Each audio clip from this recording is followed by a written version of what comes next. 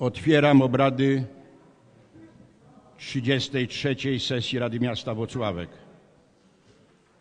Witam zastępców prezydenta w osobach pani Wandy Muszalik, pana Jacka Kuźniewicza oraz pana Jacka Wojciechowskiego. Witam zaproszonych gości, panią Małgorzatę Izdebską, dyrektora Powiatowego Urzędu Pracy we Włocławku. Jest również zaproszony pan Piotr Nowakowski, dyrektor Muzeum Ziemi Kujawskiej i Dobrzyńskiej we Włocławku. On pojawi się przed obradami w tym y, punkcie. Witam zebranych na sali pracowników urzędu, przedstawicieli mediów oraz radnych Rady Miasta szóstej kadencji. Szanowni Państwo, stwierdzam, że na ustawowy stan 25 radnych na sali obrad według listy obecności znajduje się 23 radnych, wobec czego nasze obrady są prawomocne. Panie i Panowie Radni, w Biurze Rady Miasta oraz w Biuletynie Informacji Publicznej znajdował się do Państwa wglądu protokół z obrad 32 sesji. Czy ktoś z Państwa chce wnieść uwagi do sporządzonego protokołu? Nikt się nie zgłasza, wobec tego stwierdzam, że protokół z obrad 32 sesji Rady Miasta Włocławek został przyjęty.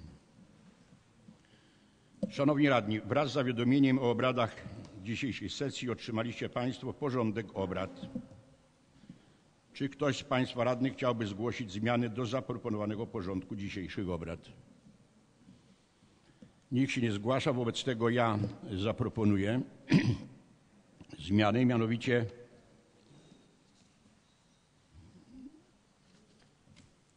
dotarła do mnie dużo wcześniej stanowisko Klubu Radnych Sojuszu Lewicy Demokratycznej.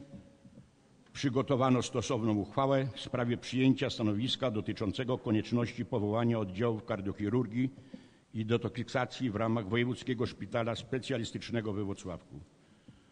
Uchwała została zaopiniowana. Ten dokument spełnia wszystkie wymogi formalne. Jeśli będzie taka decyzja Wysokiej Rady, to proponuję, byśmy ten punkt wnieśli pod obrady.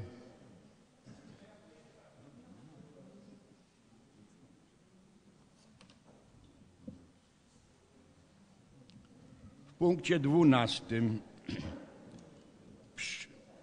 przedtem będę, jeśli Wysoka Rada podzieli to stanowisko, będę prosił, by nad tym stanowiskiem zastanowiła się Komisja Zdrowia. Czy ktoś z Państwa chce zabrać głos? Bardzo proszę, pan radny Jarosław Chmielewski.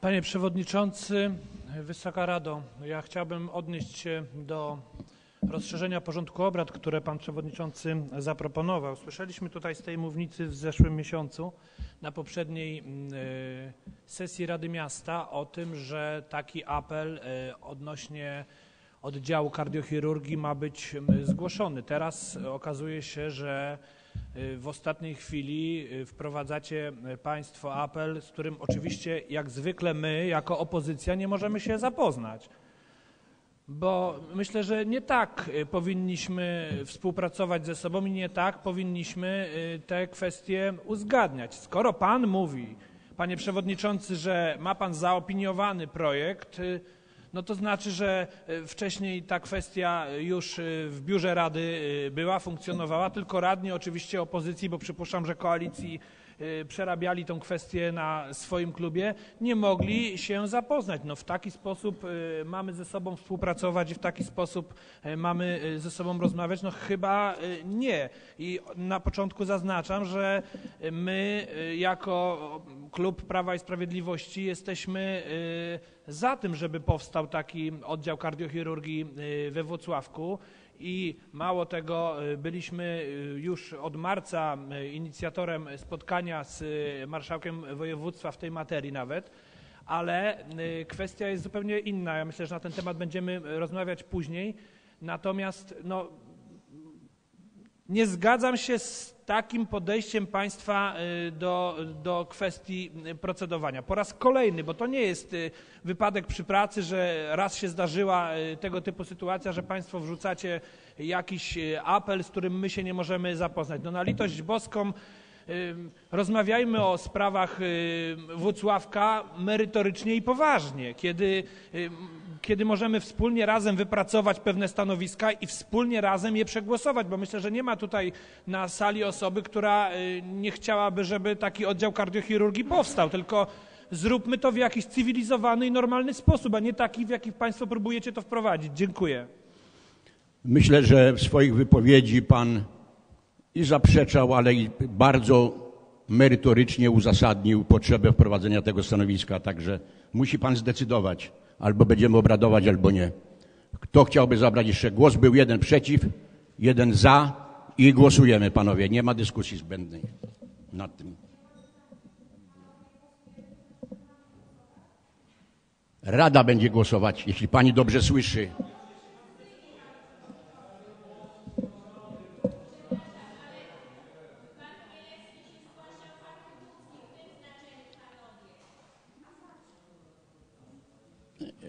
Czy jest jeden, czy chce pan zabrać głos?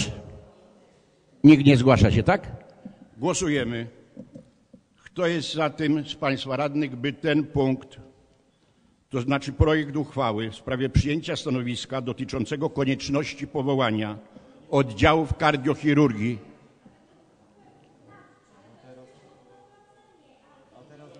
oddziałów. Może pani przestanie mi przeszkadzać? Oddziałów kardiochirurgii i dedotyksacji w ramach Wojewódzkiego Szpitala Specjalistycznego we Włocławku. Kto jest za, proszę o podniesienie ręki do góry. Obyczaj, który pan wprowadza, że głos Proszę, po, kto jest za, proszę o podniesienie ręki do góry. Dziękuję. Dziękuję. Kto jest przeciw? Kto jest przeciw? Dziękuję. Kto się wstrzymał?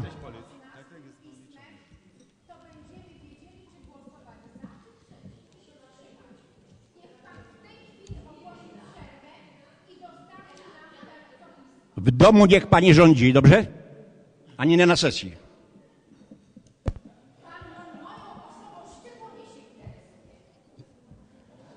Bo pani notorycznie przeszkadza. Proszę.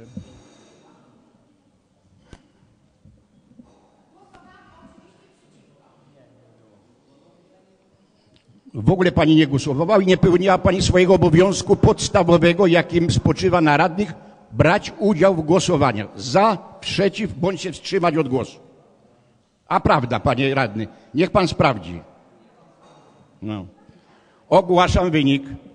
Za rozszerzeniem porządku obrad głosowało 13 radnych, przeciw nie było nikogo, czterech wstrzymało się od głosu, pozostali nie wzięli udziału w głosowaniu.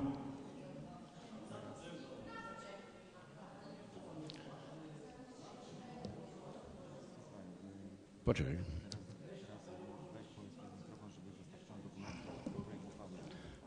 Proszę, ten punkt będziemy obradować w punkcie 12. Pozostałe punkty zmienimy o jeden do, do przodu. I proszę pracowników Biura Rady o rozdanie dokumentów w tej sprawie. A panią przewodniczącą komisji proszę o, bardzo proszę, jeśli taka będzie wola, o odbycie komisji zdrowia i zaopiniowanie tego dokumentu. Oczywiście zgłosimy w odpowiednim czasie przerwę.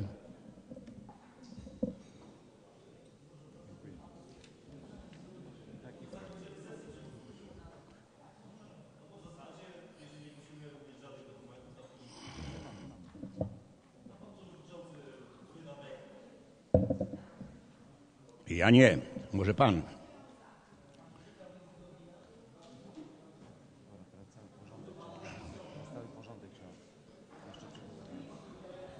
Czy są inne zmiany do porządku obrad?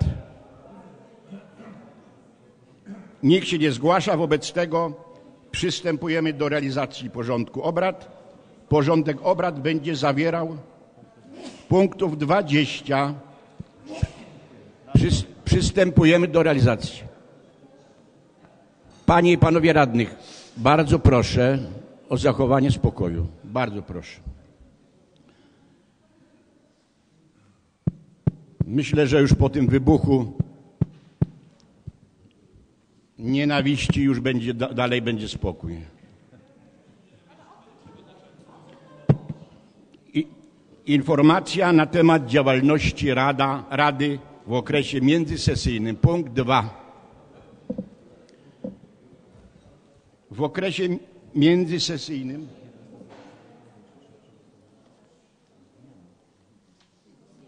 Nie, tylko prowadzenie punktu. Ja ustalam porządek obrad. W okresie międzysesyjnym odbyły się cztery dyżury radnych. 30 kwietnia dyżur pełnili radni z okręgu wyborczego numer 3 osiedla Małe Południe, którzy przyjęli trzech interesantów, mieszkańców naszego miasta. Zainteresowani zgłosili trzy interwencje. W przypadku jednej interwencji radni podjęli działania, kierując mieszkańca Wocławka do właściwej komórki Urzędu Miasta.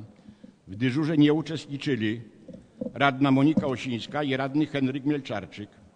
Ponadto dodatkowo brał udział w dyżurze pan Andrzej Kaźmierczak, radny okręgu wyborczego nr 5 osiedle Zazamcze. 7 maja pełnili dyżur rady z okręgu wyborczego nr 4. Przyjęto czworo interesantów. Mieszkańcy w sumie zgłosili siedem spraw. W dyżurze nie uczestniczył radny Krzysztof Kukucki. Natomiast dodatkowo na dyżur przybyła radna Elżbieta Rutkowska, która z powodu zajęć służbowych nie mogła dyżurować w swoim okręgu wyborczym w dniu 14 maja. 14 maja do dyżurujących radnych z okręgu wyborczego nr 5 osiedla Zazamcze przybyło pięciu mieszkańców, zgłaszając ogółem siedem interwencji. Jedna ze zgłoszonych spraw została załatwiona podczas trwającego dyżuru. W dyżurze według harmonogramu nie uczestniczyli radni Jarosław Chmielewski i Maciej Jarzębowski, a także radna Elżbieta Rutkowska, która przybyła na dyżur dzień w dniu 30 kwietnia. 21 maja radni z okręgu wyborczego nr 1 osiedla Śródmieście przyjęli czworo interesantów, którzy zgłosili cztery interwencje, z czego trzy wnioski zostały załatwione podczas trwającego dyżuru. W dyżurze nie uczestniczył radny Rajmund Osiński, natomiast dodatkowo przyjmował interesantów radny Jarosław Kupało z okręgu nr 5. Praca radnych w komisjach Stałej Rady Miasta. 24 maja odbyła się Komisja Budżetu Rozwoju i Promocji Miast- Miasta, podczas której zaopiniowano dziewięć projektów uchwał. W posiedzeniu uczestniczyło 11 osób. Na obrady nie przybył radny Sławomir Bieńkowski.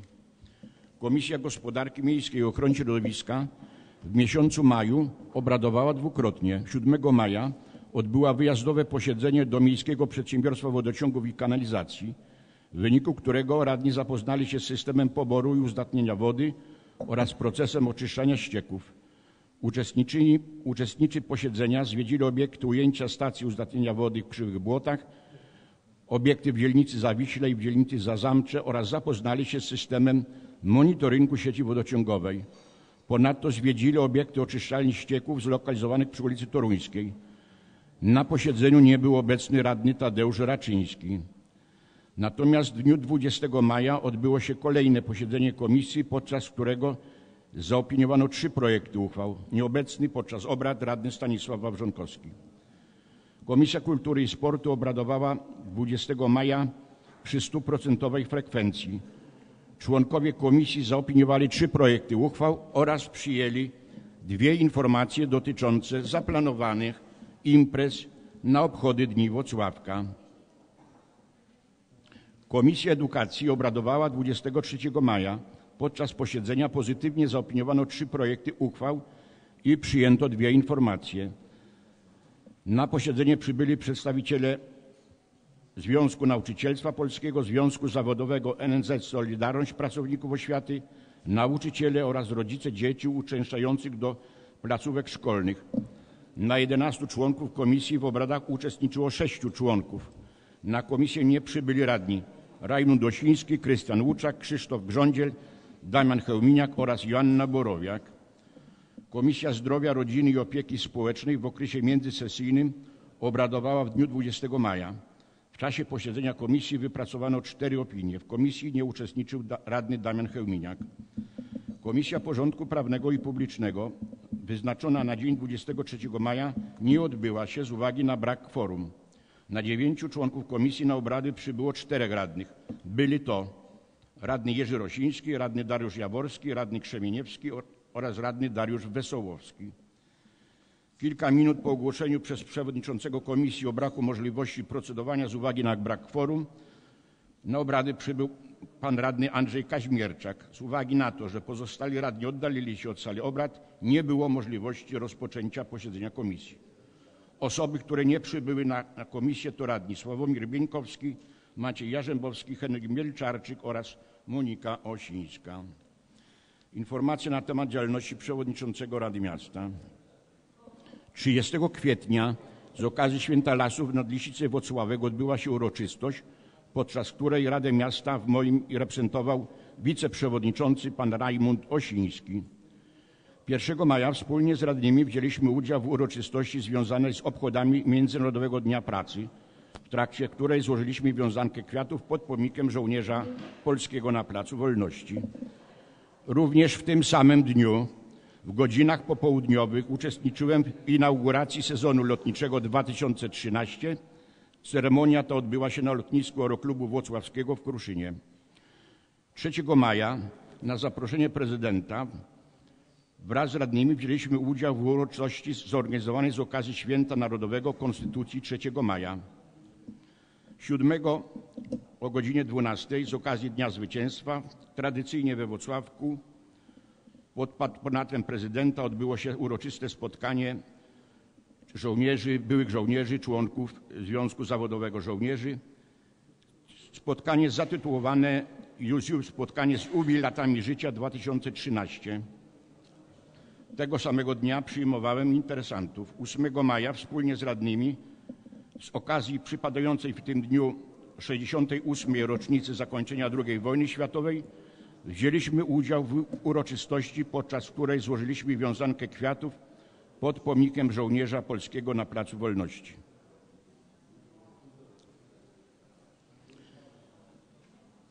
Dziesiątego maja uczestniczyłem w uroczystym otwarciu Włocławskiego Centrum Organizacji Pozarządowych i Informacji Turystycznej przy ulicy Żabiej. 11 maja na zaproszenie Włocławskiego Klubu Sportowego Włocławia miałem przyjemność być i kibicować drużynie podczas meczu na stadionie przy ulicy Chopina. Chcę poinformować, że wszystko wskazuje na to, że nasza drużyna awansuje do trzeciej ligi. 14 maja przyjmowałem interesantów. 18, 16 maja wspólnie z prezydentem Andrzejem Pałuckim gościłem w Gdyni na uroczystej gali, podczas której włocławski przedsiębiorstwo Anwil Spółka Akcyjna już po raz trzeci z rzędu został uhonorowany i laureatem prestiżowego ósmego rankingu pod nazwą Filary Polskiej Gospodarki 2012. Zajął w tym rankingu drugie miejsce z firm województwa kujawsko-pomorskiego.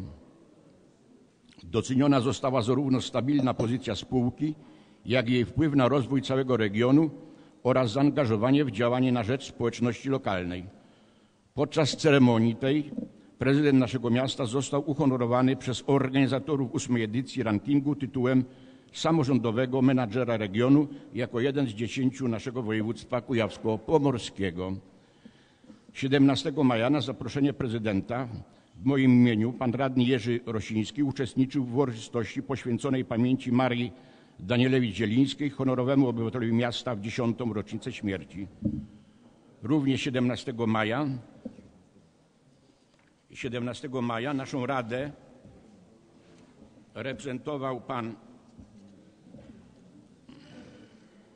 Andrzej Kazimierczak na uroczystościach związanych z zakończeniem y, konkursu fotograficznego Włocławek Moje Miasto w imieniu Oka, który to konkurs odbywał się pod patronatem y, prezydenta miasta. 19 maja przewodniczący Komisji Kultury i Sportu pan Dariusz Wesołowski gościł na spotkaniu z Radą Starszych Kurkowego Bractwa Strzeleckiego we Włocławku.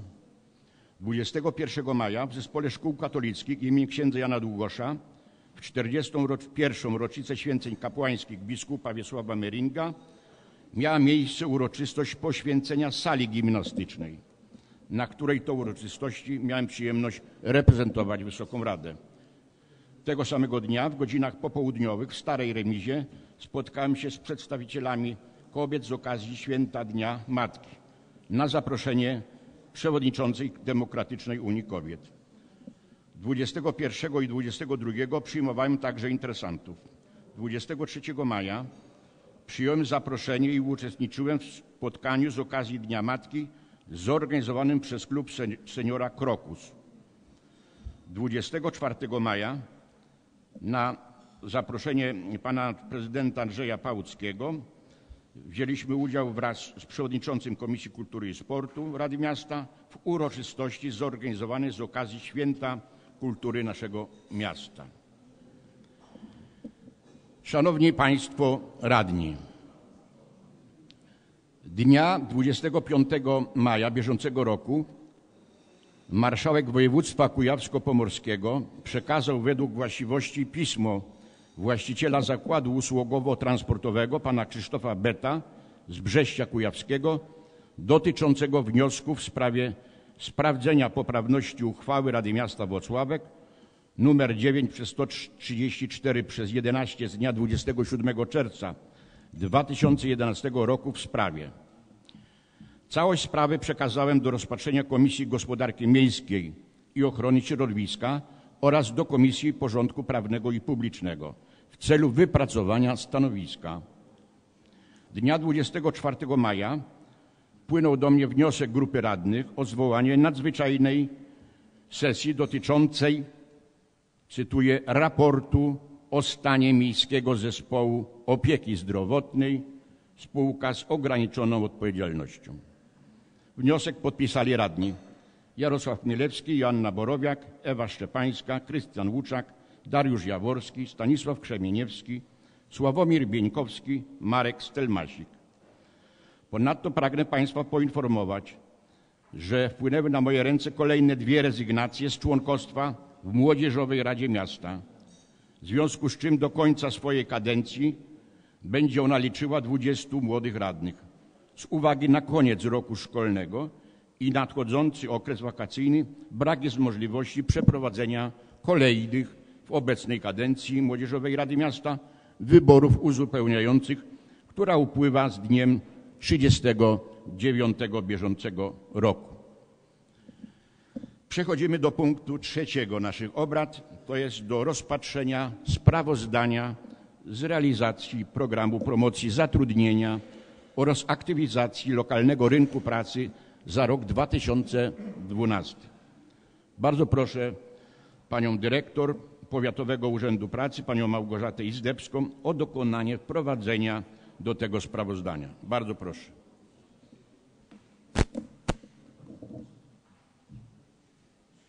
Panie Przewodniczący, Wysoka Rado. Y, Informacja za 2012 rok zawiera wszystkie y, informacje o wszystkich aktywnych formach walki z bezrobociem. I tak tytułem wstępu chciałam poinformować Państwa, że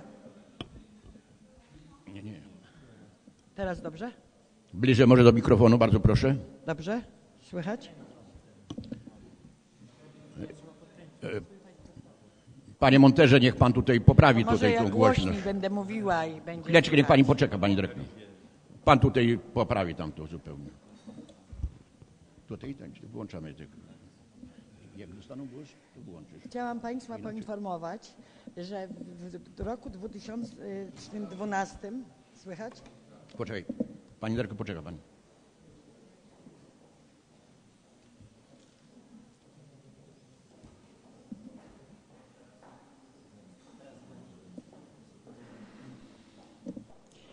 Chciałam Państwa poinformować, że w 2012 roku Powiatowy Urząd Pracy na wszelkie aktywne formy walki z bezrobociem e, miał kwotę do dyspozycji 25 milionów 808 tysięcy 100 zł.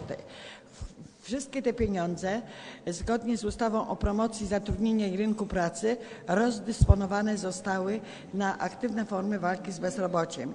I tak w ramach e, e, osób, które zostały zaktywizowane, 600 osób podjęło staże e, u przedsiębiorców. E, Udzielono 124 czterem osobom doposażenie e, dla pracodawców. 154 osoby z miasta otrzymały dotacje na stworzenie własnego e, miejsca pracy. 746 osób ukończyło szkolenia, takie jak e, są w wykazach. 58, 54 osoby e, korzystały z prac interwencyjnych. Ponadto Powiatowy Urząd Pracy realizował programy po pierwsze praca, przedsiębiorstw, który objętym było 1141 osób, z tym 381 osób skorzystało ze staży, 85 otrzymało środki na działalność gospodarczą i 642 osoby na szkolenia. 231 osób otrzymało również z tych środków dotac- dotacje. Na, e, org- Mamy również program Młodzi Doświadczeni Wykwalifikowani.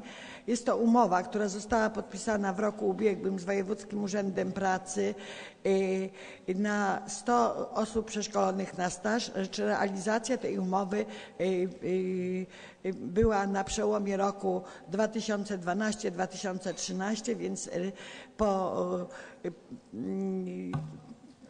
zakończenie, te 100 osób zostało skierowane na staże w kwietniu już 2013 roku. Jeżeli chodzi o bezrobotnych z terenu miasta zarejestrowanych Powiatowym y, Urzędzie Pracy, jeżeli chodzi o powiat e, grodzki, było ich 10 425 osób, w ziemskim było 8, 863 w roku 2012. Y, Natomiast y, mm, osób długotrwale bezrobotnych w- stosunku do tych osób, które są zarejestrowane w Powiatowym Urzędzie Pracy było 29,4%. Pod pojęciem osoby długotrwale bezrobotnej należy rozumieć te osoby, które są zarejestrowane w Powiatowym Urzędzie Pracy powyżej y, jednego roku. Y, Struktura bezrobocia y, została y, w naszych materiałach pokazana i zanalizowana na stronie ósmej. Y, No nie chcę tu po prostu czytać tych wszystkich informacji. Y, Niepokoi liczba osób y, zarejestrowanych w Powiatowym Urzędzie Pracy. 9,8% to są osoby z wykształceniem wyższym, natomiast 30 2 i 34,2% gimnazjalnej i poniżej. Więc brakuje również nam pracy dla osób, które posiadają wykształcenie wyższe, szczególnie niektóre kierunki y, są y, niemożliwe do zagospodarowania przez lokalny rynek pracy.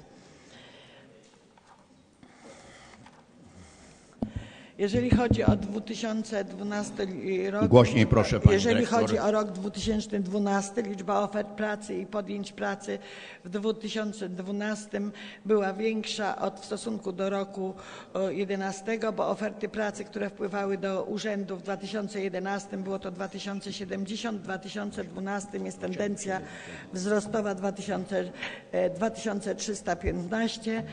Podjęć pracy e, było 4000 e, 26 w roku 2011, w 2012 było ich 3913. E, W sumie e, należy to w ten sposób rozumieć, że nowych ofert pracy mimo wszystko w roku 2012, pomimo że było więcej, podjęć pracy było troszeczkę mniej, dlatego że interes, zainteresowani mają prawo do dodatku aktywizującego, jeżeli podejmie pracę bez y, pomocy urzędu. W związku z tym część ludzi y, nie korzysta z propozycji urzędu, a nawet jeżeli ta opinia, Są wywieszane fiszki o pracy na terenie urzędu. Do pracodawców bezrobotni zgłaszają się indywidualnie.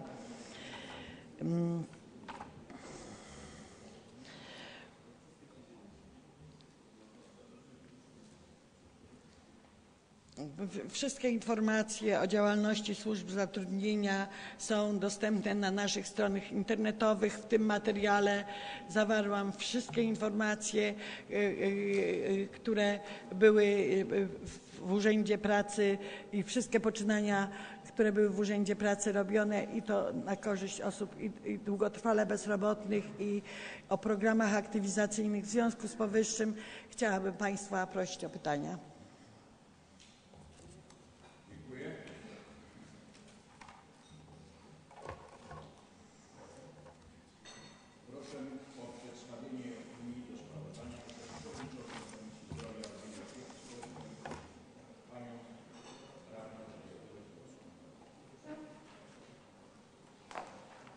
Panie Przewodniczący, Wysoka Rado. Opinia nr 22 łamane przez 2013. Komisja Zdrowia, Rodziny i Opieki Społecznej Rady Miasta na posiedzeniu w dniu 20 maja 2013 roku pozytywnie zaopiniowała sprawozdanie z realizacji programu promocji zatrudnienia oraz aktywności lokalnego rynku pracy za rok 2012. Za przyjęciem oddano 6 głosów, wstrzymujących yy, oddano 2 głosy, głosów przeciwnych nie stwierdzono. W głosowaniu wzięło udział 8 członków komisji. Dziękuję.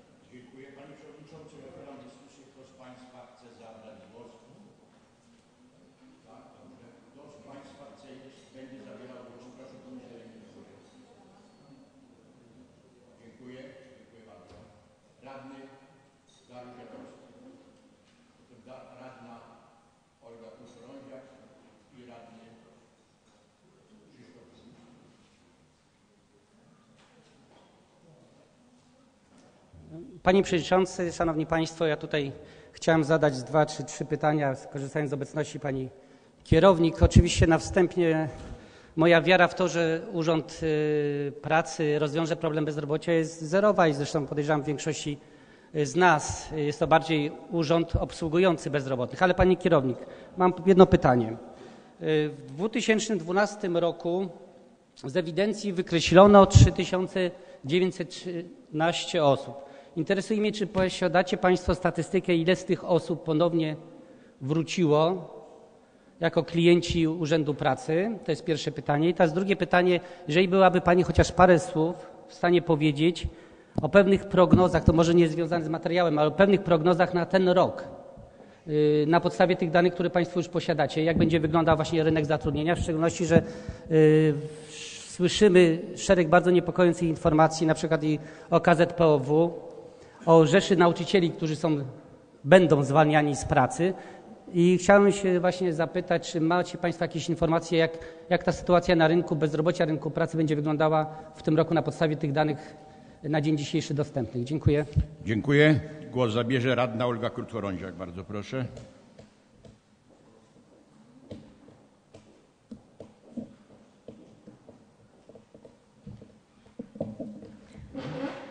Panie Przewodniczący, Szanowni Państwo, mając w pamięci e, ubiegły e, rok i e, potraktowanie moich pytań merytorycznych odnoszących się do tego sprawozdania, dzisiaj będę bardzo krótko zadawała pytania, które sądzę, że są istotne i przypuszczam, że Powiatowy Urząd Pracy we Włocławku brał w tym udział. Chciałabym się zwrócić do Pani, jaki był e, stopień właśnie udziału Powiatowego Urzędu Pracy w zakresie dyskusji odnośnie zmian w przepisach ustawowych. One są e, dosyć istotne. Mają podobno na celu odbiurokratyzować jak gdyby e, te urzędy i wnieść większą ich inicjatywność na rynku pracy. było e, w tej dyskusji, która się toczy w Polsce, podkreślone, że urzędy pracy, nie mówię tutaj o Wocławku, nie wiem e, jaką się renomą e, cieszy na rynku, ale podsumowanie tej dyskusji o zmianach ustawowych było takie, że urzędy pracy nie cieszą się ani wśród bezrobotnych, ani wśród różnego rodzaju pracodawców dobrą e, renomą.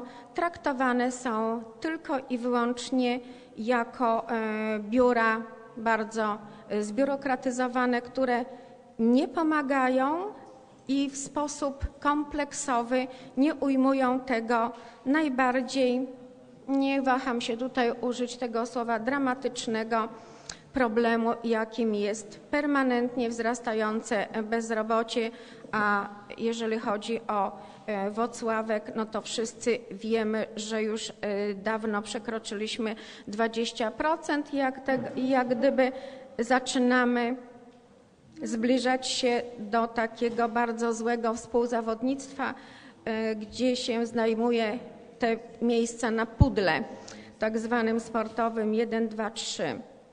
Bardzo bym e, prosiła Panią, e, tak w ogólnych jeszcze raz mm, słowach, na czym ma polegać ta nowelizacja i jaka, jaki rodzaj roli jest przypis, ma być przypisany powiatowym urzędom e, pracy.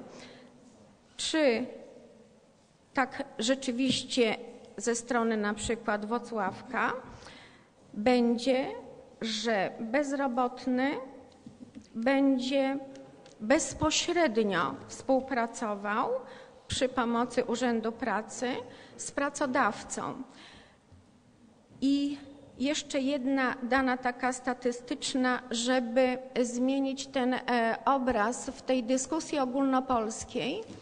Była informacja, że zaledwie 10% e, tego rynku bezrobotnego jest obsługiwanych przez powiatowe urzędy pracy. Natomiast reszta jest to samoregulacja na tym e, rynku gdzie bezrobotni na własną rękę, czy to w sposób prawnie jawny, czy tak zwana szara strefa, która mimo wszystko w jakiś sposób utrzymuje e, rodziny osób bezrobotnych. Dziękuję bardzo. Aha, i jeszcze jedno, jeszcze jedno pytanie. W tej dyskusji zaangażowani byli z Uniwersytetu e, Warszawskiego studenci ekonomii, którzy do wszystkich urzędów pracy w Polsce e, wysłali właściwie nie takie ankiety, tylko jak gdyby takie pogłębione zaproszenie do dyskusji i prosili na poszczególne zagadnienia o wypowiedź właśnie powiatowych urzędów pracy i z wielką e, goryczą e, była to informacja telewizyjna w, e, w, takich materiałach wydań, wydań dziennikowych. Z wielką goryczą było to określone, że Powiatowy Urząd Pracy, no pięknie, no ale jestem do tego przyzwyczajona że e, nie było wskazania na Wocławek i chciałabym znać odpowiedź, czy Państwo uczestniczyliście e, w odpowiedzi e, tej, tej, tym zaproszeniom przez Uniwersytet Warszawski, nie, nie, nie. kierunek ekonomia. Dziękuję. Dziękuję bardzo. Głos zabierze radny Krzysztof Kukucki.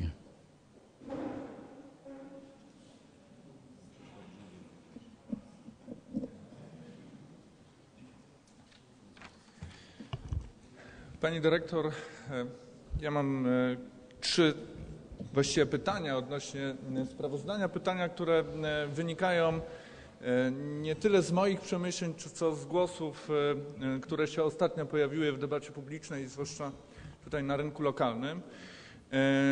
I jak gdyby to będzie pierwsza część mojego wystąpienia, od Pani odpowiedzi uzależniam jak gdyby dalszą, dalszą część. Tak? Więc e, mam pytanie po pierwsze, ile Powiatowy Urząd Pracy marnuje pieniędzy? E, Drugie, czy Powiatowy Urząd Pracy jest e, gotowy na zagospodarowanie dodatkowych środków na aktywizację osób bezrobotnych? I trzecie pytanie, jaka jest skuteczność środków, które Państwo otrzymują na aktywizację osób bezrobotnych? Dziękuję. Dziękuję. Radny Marek Stelmasik.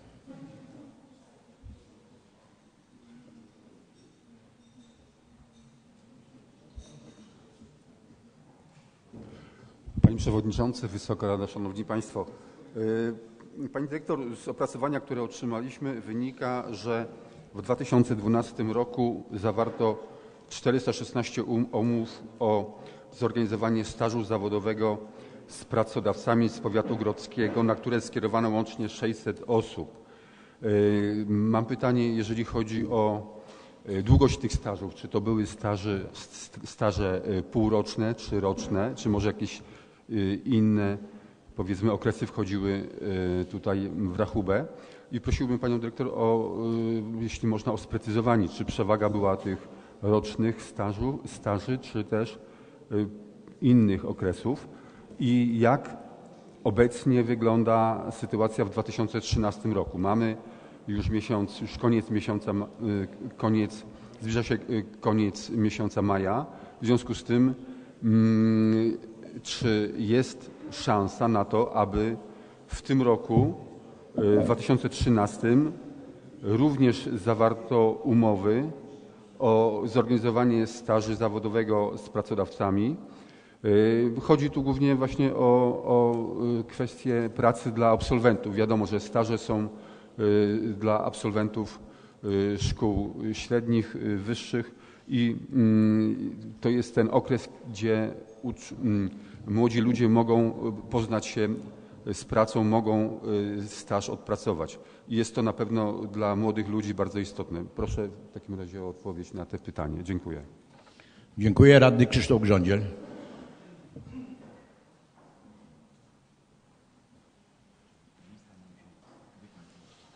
Panie Przewodniczący, Wysoka Rada, Szanowni Państwo.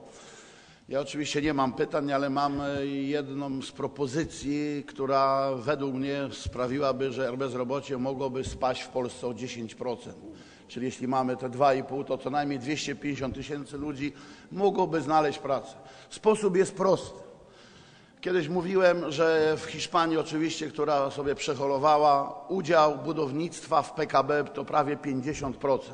W Hiszpanii budowano więcej mieszkań niż w Niemczech, Francji Anglii razem wziętych. Hiszpania to jedna e, piąta tego, jeśli chodzi o zasoby ludzkie, niż w wymienionych tych trzech krajach. Co w Polsce należałoby, proszę Państwa, zrobić? Wiemy, że budownictwo mieszkaniowe leży, a potrzeby jeszcze są. Nie wiadomo jak długo, ale przynajmniej te według mnie kilkanaście lat trzeba by te 50, 60, 70 tysięcy mieszkań budować, żeby zaspokajać potrzeby. Co trzeba zrobić, żeby ożywić budownictwo mieszkaniowe? Pierwsza rzecz, ułatwić dostępność do kredytu. I ja tak szybko tutaj przed chwilą przeliczyłem, gdyby państwo zdecydowało się pokryć wszystkie odsetki od kredytów i zagwarantować to, to przy 50 tysiącach mieszkań rocznie, przy odsetkach wynoszących 5% rocznie, potrzeba na to 250 milionów, by wspomóc i rozluźnić gorset uzyskiwania kredytów.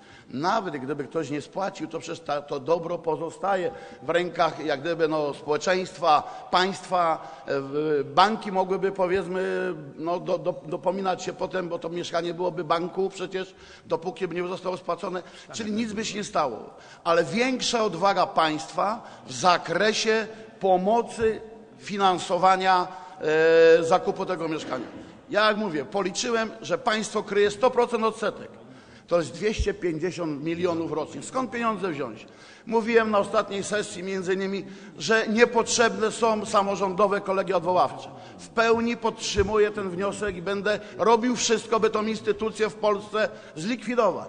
Bo to jest instytucja, która nic nie daje obywatelowi, która po prostu bierze pieniądze i w żaden sposób nie, nie chroni interesu obywatela. Nie jest to potrzebne.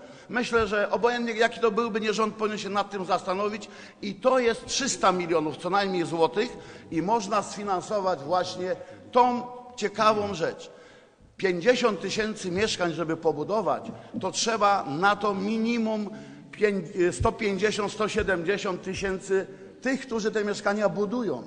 A środki, które trzeba wbudować, tworzy następne 150 tysięcy ludzi, czyli żeby wprowadzić materiały budowlane, instalacyjne i tak dalej. Mamy 300 tysięcy miejsc pracy, uruchamiając bardzo prosty mechanizm. Dziękuję za uwagę. Stąd też, stąd też e, rejonowe e, biura pracy, one są tylko takim pomocnikiem. One nie tworzą narzędzi. Narzędzi, narzędzie winny tworzyć rządy. I to jest, myślę, rzecz, którą my jako również samorządowcy powinniśmy widzieć i pokazywać, bo takimi drobnymi działaniami to takie zdreptanie. Tu chodzi o jeden z, e, z elementów również w innych dziedzinach, powiedzmy, jak chociażby program Wisła, gdyby można było podobnie uruchomić, to są też następne setki tysięcy miejsc pracy. Od rządy muszą być bardziej odważne i nie myśleć kategoriami czterech lat, od kadencji do kadencji. Rządy winny mieć program na wiele lat, a tego niestety od 20 lat w Polsce nie ma. Dziękuję. Głos zabierze radni Jarosław Mielewski.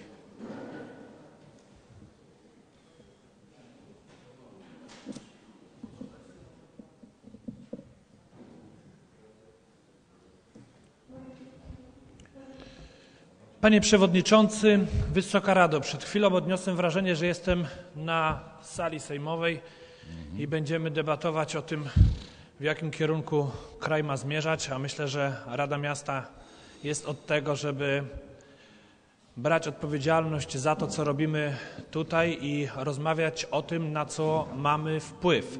Oczywiście e, e, rozumiemy e, te wywody, które przedstawił nam radny Grządziel, ale myślę, tak jak powiedziałem, chyba ta mównica nie jest od tego. Ale proszę Państwa, zajmujemy się ważną kwestią dotyczącą oceny rynku pracy za 2012 rok i ja tutaj chciałbym zapytać panią dyrektor Powiatowego Urzędu Pracy, jak wygląda współpraca z Urzędem Miasta w tej materii. A konkretniej może, bo my już wielokrotnie tutaj z tej mównicy mówiliśmy o tym, że nie widzimy celu w tym, żeby władze naszego miasta promowały miasto w mieście i ściągały inwestorów, nie wiem w jaki sposób można powiedzieć. Nie słyszał pan? I chciałbym zapytać, czy może pani dyrektor ma jakiś pomysł na to, w jaki sposób wykorzystać te środki, które są przeznaczone właśnie między innymi na promocję miasta jako jednostki samorządu terytorialnego, jako, jako y, tej jednostki, która ma swoje położenie i miejsce w świetnym y, miejscu w kraju, właśnie po to, żeby wykorzystać i ściągnąć inwestorów, żeby nie było tak, jak jest w tej chwili, że 21% bezrobocia niestety mamy. Ja wczoraj byłem w Toruniu i powiem szczerze, że y, przeszedłem po ulicach y, Starówki, gdzie widziałem sporą liczbę ogłoszeń dotyczącą miejsc pracy. I od razu nawiązała się dyskusja z ludźmi z Włocławka, bo byłem z kilkoma osobami z Włocławka, dlaczego taka sytuacja jest u nas, że u nas jest 21% bezrobocia, a w Toruniu mamy bezrobocie na poziomie 9%. Jakoś widać, y, władze miasta potrafią y, zorganizować tak y, wszystko, że y, miasto jest przyjazne inwestorom i tam y, to bezrobocie jest, tak jak powiedziałem, na y, poziomie takim, jakim jest. Proszę powiedzieć, pani dyrektor, jak dużo nowych podmiotów gospodarczych otwiera się korzystając z inkubatora innowacji i przedsiębiorczości? Tutaj właściwie też to pytanie kieruję do władz miasta, czy wskaźniki, które były założone dotyczące efektywności, jeżeli chodzi o inkubator innowacji i przedsiębiorczości, zostały osiągnięte przez miasto. Jeżeli nie, to proszę powiedzieć, dlaczego zostały nieosiągnięte, dlaczego y, przesuwano po raz kolejny y, kwestie, y, kiedy te wskaźniki mają być osiągnięte, to znaczy mówię kwestie terminów. Chcielibyśmy tutaj jako radni wiedzieć, ale i mieszkańcy myślę, że ta wiedza im się należy. Proszę Państwa, chciałbym jeszcze wiedzieć, pytanie też skierowane i do Pani Dyrektor, i do władz miasta, czy już ma Pani informację na temat y, tego, że do Powiatowego Urzędu Pracy y, została zgłoszona informacja o zwolnieniach w KZPOW? Czy coś na ten temat y, Pani jako dyrektor Powiatowego Urzędu Pracy wie? I pytanie do władz miasta, bo mogliśmy przeczytać w zeszłym tygodniu, zresztą poseł Prawa i Sprawiedliwości Łukasz Zbonikowski mówił również o tym, że władze miasta nie znalazły czasu na to, żeby spotkać się z potencjalnym inwestorem, który chciałby zainwestować w KZPOW. To tak naprawdę o czym my rozmawiamy? O czym my tutaj rozmawiamy? Czy władze miasta są zainteresowane tym, żeby utrzymywać miejsca pracy, tym, żeby miasto się rozwijało, żeby pomagać w utrzymaniu tych miejsc pracy?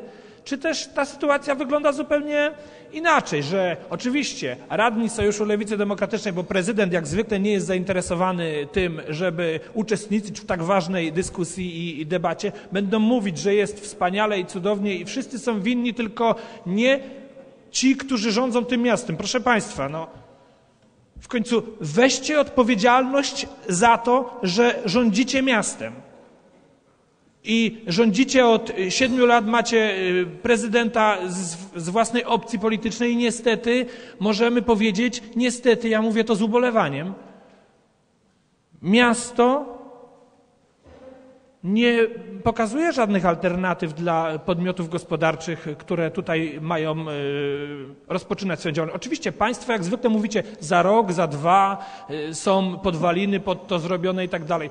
Pan prezydent Andrzej Pałucki rządzi już siódmy rok. Mieszkańcy oczekują konkretnych efektów, których nie ma. Bezrobocie powyżej 21%. Dziękuję. Y, taka uwaga porządkowa. Y, najpierw pan skrytykował pana radnego Grządziela, że mówił spraw dotyczących y, Polski czy Sejmu i poczuł pan, zaczął uprawiać agitkę wyborczą, praktycznie nie odnosząc się ani jednym słowem do tematu dzisiejszych sesji. Najwyższy czas, przypinając komuś łatkę, zaczynać od siebie i przestrzegać tego, co się powinno.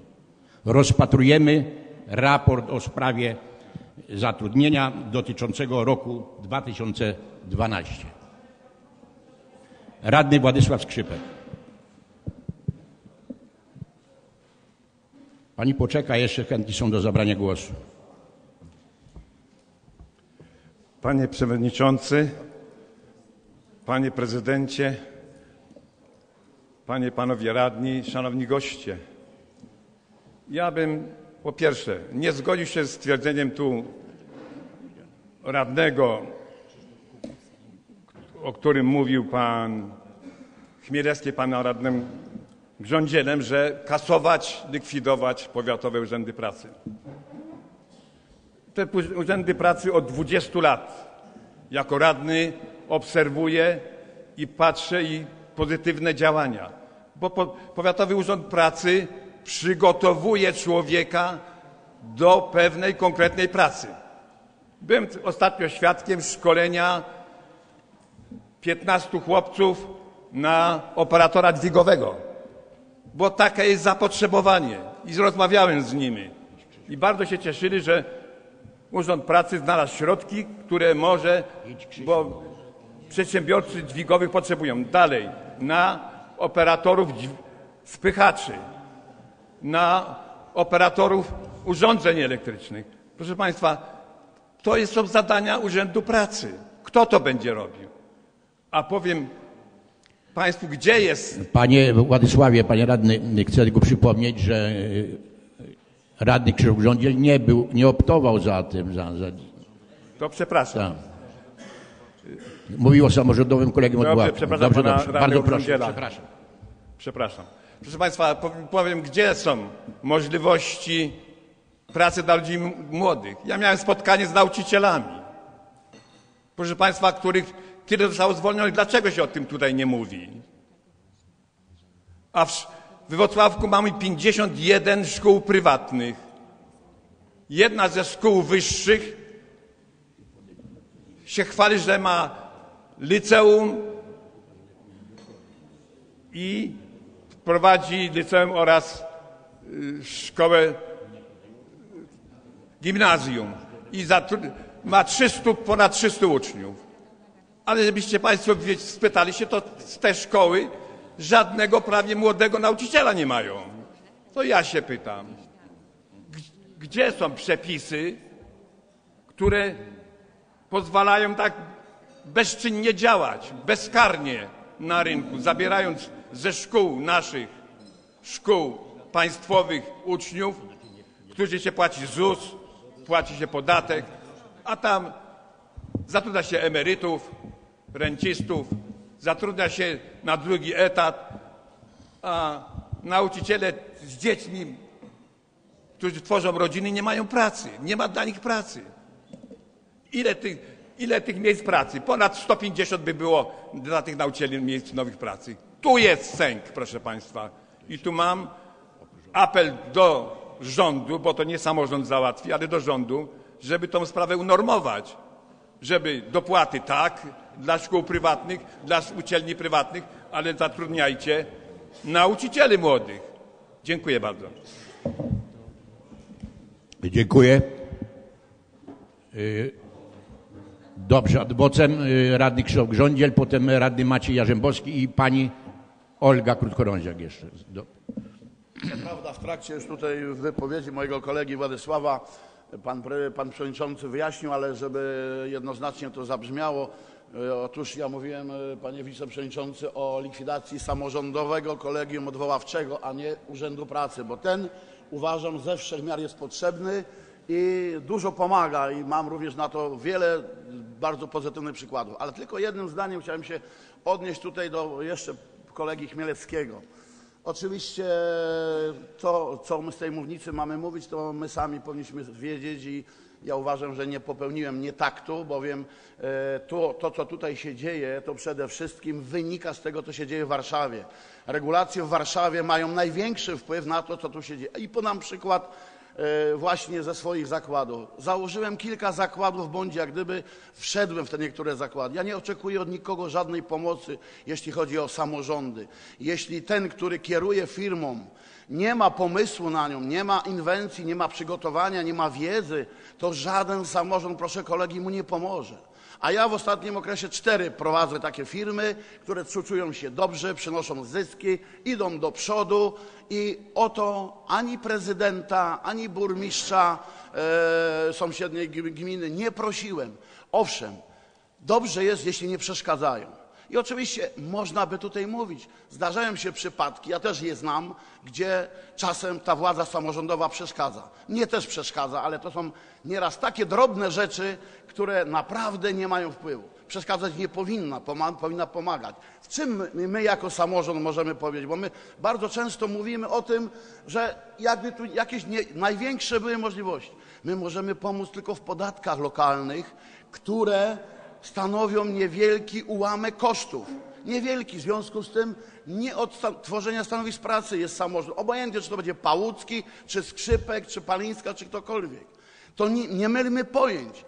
My mamy jako samorząd niewielki zakres. Nie mówię jako praktyk, bo mam za sobą duże doświadczenie i zatrudniam ponad tysiąc ludzi we Włocławku. W związku z tym myślę, że moje słowa mają jakieś znaczenie.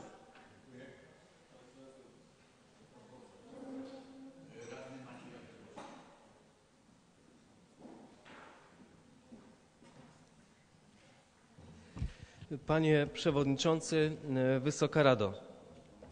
E, Ja chciałbym przypomnieć tutaj kolegom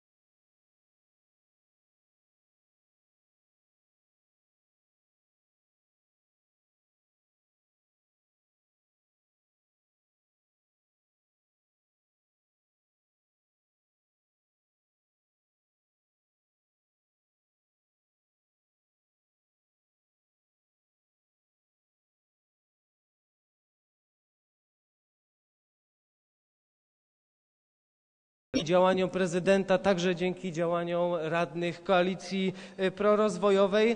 E, są we Włocławku e, nowe inwestycje, także związane z powstawaniem nowych miejsc pracy, z powstawaniem e, nowego przemysłu, e, czy no, tego rodzaju instytucji, które zatrudniają ludzi. Ale no, niestety tego jest e, zbyt mało. Ale musimy pamiętać o tym, że gdyby nie działania prezydenta, gdyby nie działania tutaj nas radnych, to sytuacja byłaby jeszcze gorsza i pomimo tego, że powiedzmy ten wzrost bezrobocia na jakimś po, e, niestety e, poziomie e, in plus dla tego wzrostu się utrzymuje, byłby on jeszcze większy. A więc można powiedzieć, że dzięki naszym działaniom hamujemy ten wzrost bezrobocia i poprzez te właśnie działania, pomimo sytuacji ogólnokrajowej coraz gorszej we Włocławku, e, nie, nie ma aż takiej dużej równi pochyłej. I myślę, że możemy oczekiwać, e, że zmiana sytuacji nastąpi no nie wcześniej niż po kolejnych wyborach parlamentarnych, ponieważ e, ja wątpię i myślę, że już e, coraz więcej ludzi, coraz więcej wyborców e, wątpi w to, żeby e, obecne rządy były w stanie e, tą e, sytuację zmienić. E, Padają oczywiście tutaj różne pomysły, także z tej mównicy pan radny Krzysztof Grządziel mówił o tym, że na przykład e, rozruszanie budownictwa mogłoby e, sytuację e, zmienić e, i wiemy o tym, wszyscy o tym wiemy, nie tylko my samorządowcy, ale przecież także rząd, także ci parlamentarzyści, którzy na przykład z Platformy Obywatelskiej się wywodzą, że brak jest mieszkań komunalnych że e, są bardzo długie listy oczekujących na, e, na przydział lokalu komunalnego i no, ta sytuacja wpisywałaby się jak ulał. Proszę bardzo, możemy budować większą ilość mieszkań, które są potrzebne, które nie będą stały puste e, i dzięki temu także będą rozwijały się firmy, będą zatrudniały ludzi, którzy będą w, bezpośrednio w tym przemyśle budowlanym brali udział, ale także całe otoczenie. To jest ogromny przemysł i to może rzeczywiście e, pomóc w rozruszaniu gospodarki. Tymczasem kompletnie żadnych pomysłów i żadnych programów w tym zakresie nie ma. Ja przypomnę, że były programy e, rządowe, ale to nie były programy tego rządu, e, panie radny Kaźmierczak, także niech pan tak nie patrzy z nadzieją. To nie były programy tego rządu, to były programy rządów poprzednich, e, gdzie były pewne dotacje na e, budowanie właśnie e, lokali komunalnych. Teraz już tego nie ma. Te programy się poko- pokończyły i jest stagnacja. Ja już nie mówię o tym, że e, e, przepisy obecnie obowiązujące o zamówieniach publicznych e, rozłożyły cały przemysł budowlany, ale no, niestety nie ma także żadnych pomysłów na to, żeby to roz, rozruszać. To znaczy pomysły przedstawiane przez różnych ludzi oczywiście są, natomiast nie ma żadnych działań rządu, które by po prostu e, te działania wdrażały w życie, także jest tylko i wyłącznie administrowanie, jest y, polityka y, fiskalizmu, dbania o międzynarodowe instytucje finansowe i o ich opinie, natomiast zupełnie nie dba się o opinie zwykłych ludzi, obywateli Polski, obywateli Włocławka. Rząd zupełnie się tym nie przejmuje. Tak, już dziękuję. To Dziękuję tyle, bardzo. na temat, to tyle na temat bezrobocia. Ja jeszcze chciałem tylko zadać pytanie pani dyrektor, To proszę, e, proszę. ponieważ wiadomo, że rząd e, no, nie tylko, że nic nie robi, ale zablokował 10 miliardów złotych z Funduszu Pracy i ja chciałem em, zapytać panią dyrektor, jak zablokowanie tych pieniędzy wpływa na właśnie walkę z bezrobociem. Chociaż ostatnio słyszeliśmy od, y, od, przedstawiciela, od przedstawiciela koalicji rządowej, więc nie wiem, czy to jest prawda, że, y, że y, już 3 miliardy zostały odmrożone, więc tutaj chciałbym zapytać, jak, y, jak to jest naprawdę. Dziękuję. Dziękuję. Y, Pani y, Olga, pani radna Olga Krótkorąziak y, dodatkowo chce zapytać. Bardzo proszę. Ja tutaj bym e, chciała wrócić mimo wszystko w dalszym ciągu do mm, tych przygotowywanych mm, nowelizacji dotyczących rynku y, pracy. I chciałam e, zapytać się Pani, czy Pani y, skłonna byłaby mm, przyznać, e, że ta nowelizacja idzie w dobrym kierunku, to znaczy się zmiana funkcji Urzędu Pracy na punkt kontaktu pomiędzy e, klientem a e, pracodawcą, bo tak generalnie e, jest to ujęte właśnie jako sztandarowe, sztandarowa zmiana w nowelizacji. No i jeszcze Panie Przewodniczący, o ile Pan pozwoli, z tej trybuny pan radny Grządziel, no, e, żałuję, że w tym momencie go nie ma, ale przywołał e, Hiszpanię jako taki e, bardzo prosty przykład, który można by zastosować e, w Polsce.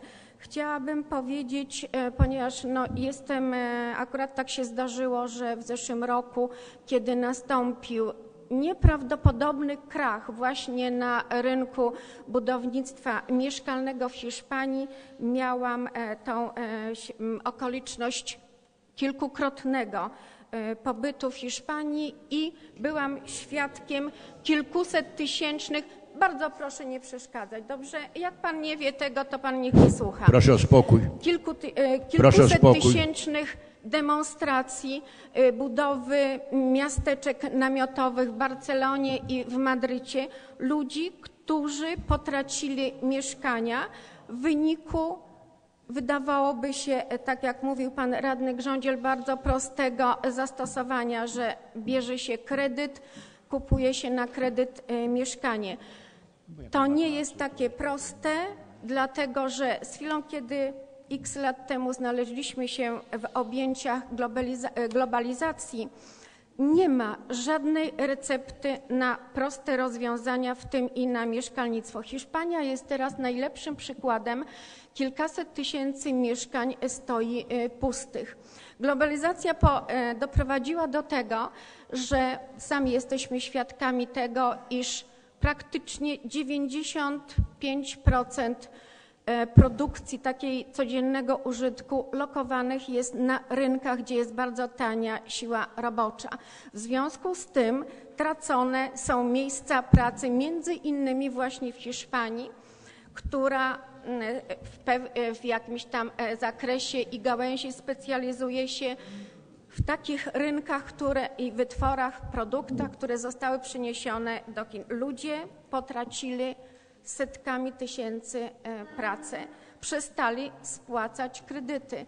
Banki, które zostały również objęte kryzysem, pokazały swoje zęby, żądając spłaty, bo jak się nie płaci czynszu i e, to traci się mieszkanie.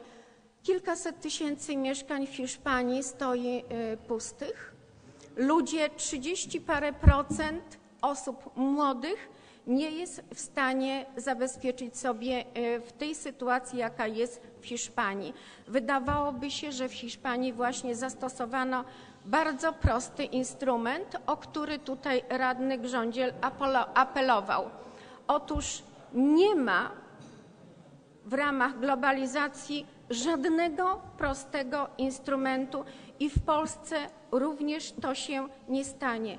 Można tylko i wyłącznie pewien segment, pewien segment bardzo rygorystycznie e, bardzo rygorystycznie wyróżniony i jednocześnie namówienie banków, które jak dobrze się orientujemy, nie są w większości w rękach polskich i nie będą uczestniczyły.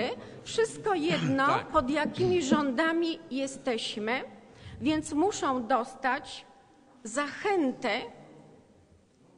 mówię o bankach, zachętę taką, która będzie im przynosiła profity. Jeszcze raz podkreślam, że Hiszpania jest najgorszym przykładem prostego zastosowania wielkiego boomu budowlanego. Ten boom w, la, w ramach ogólnoświatowego kryzysu spowodował jedno: wszystkie budy stanęły kilka lat temu i kilkaset tysięcy mieszkań stoi pustych. Nikogo Dobrze. na to nie stać. Dziękuję. Dziękuję bardzo. Radny Andrzej Kaźmierczak. Dobrze, po, po, po pani, radny Andrzej Kaźmierczak, proszę.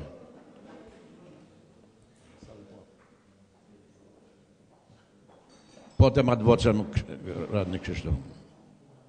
Potem radny Sławomir Bieńkowski. Panie Przewodniczący, Szanowni Państwo, Pan Radny Jarzębowski, chciałbym się odnieść tutaj jednym zdaniem tylko. Otóż Panie Radny, ja patrzałem nie z nadzieją, tylko patrzałem ze smutkiem, bo patrzałem na Pana.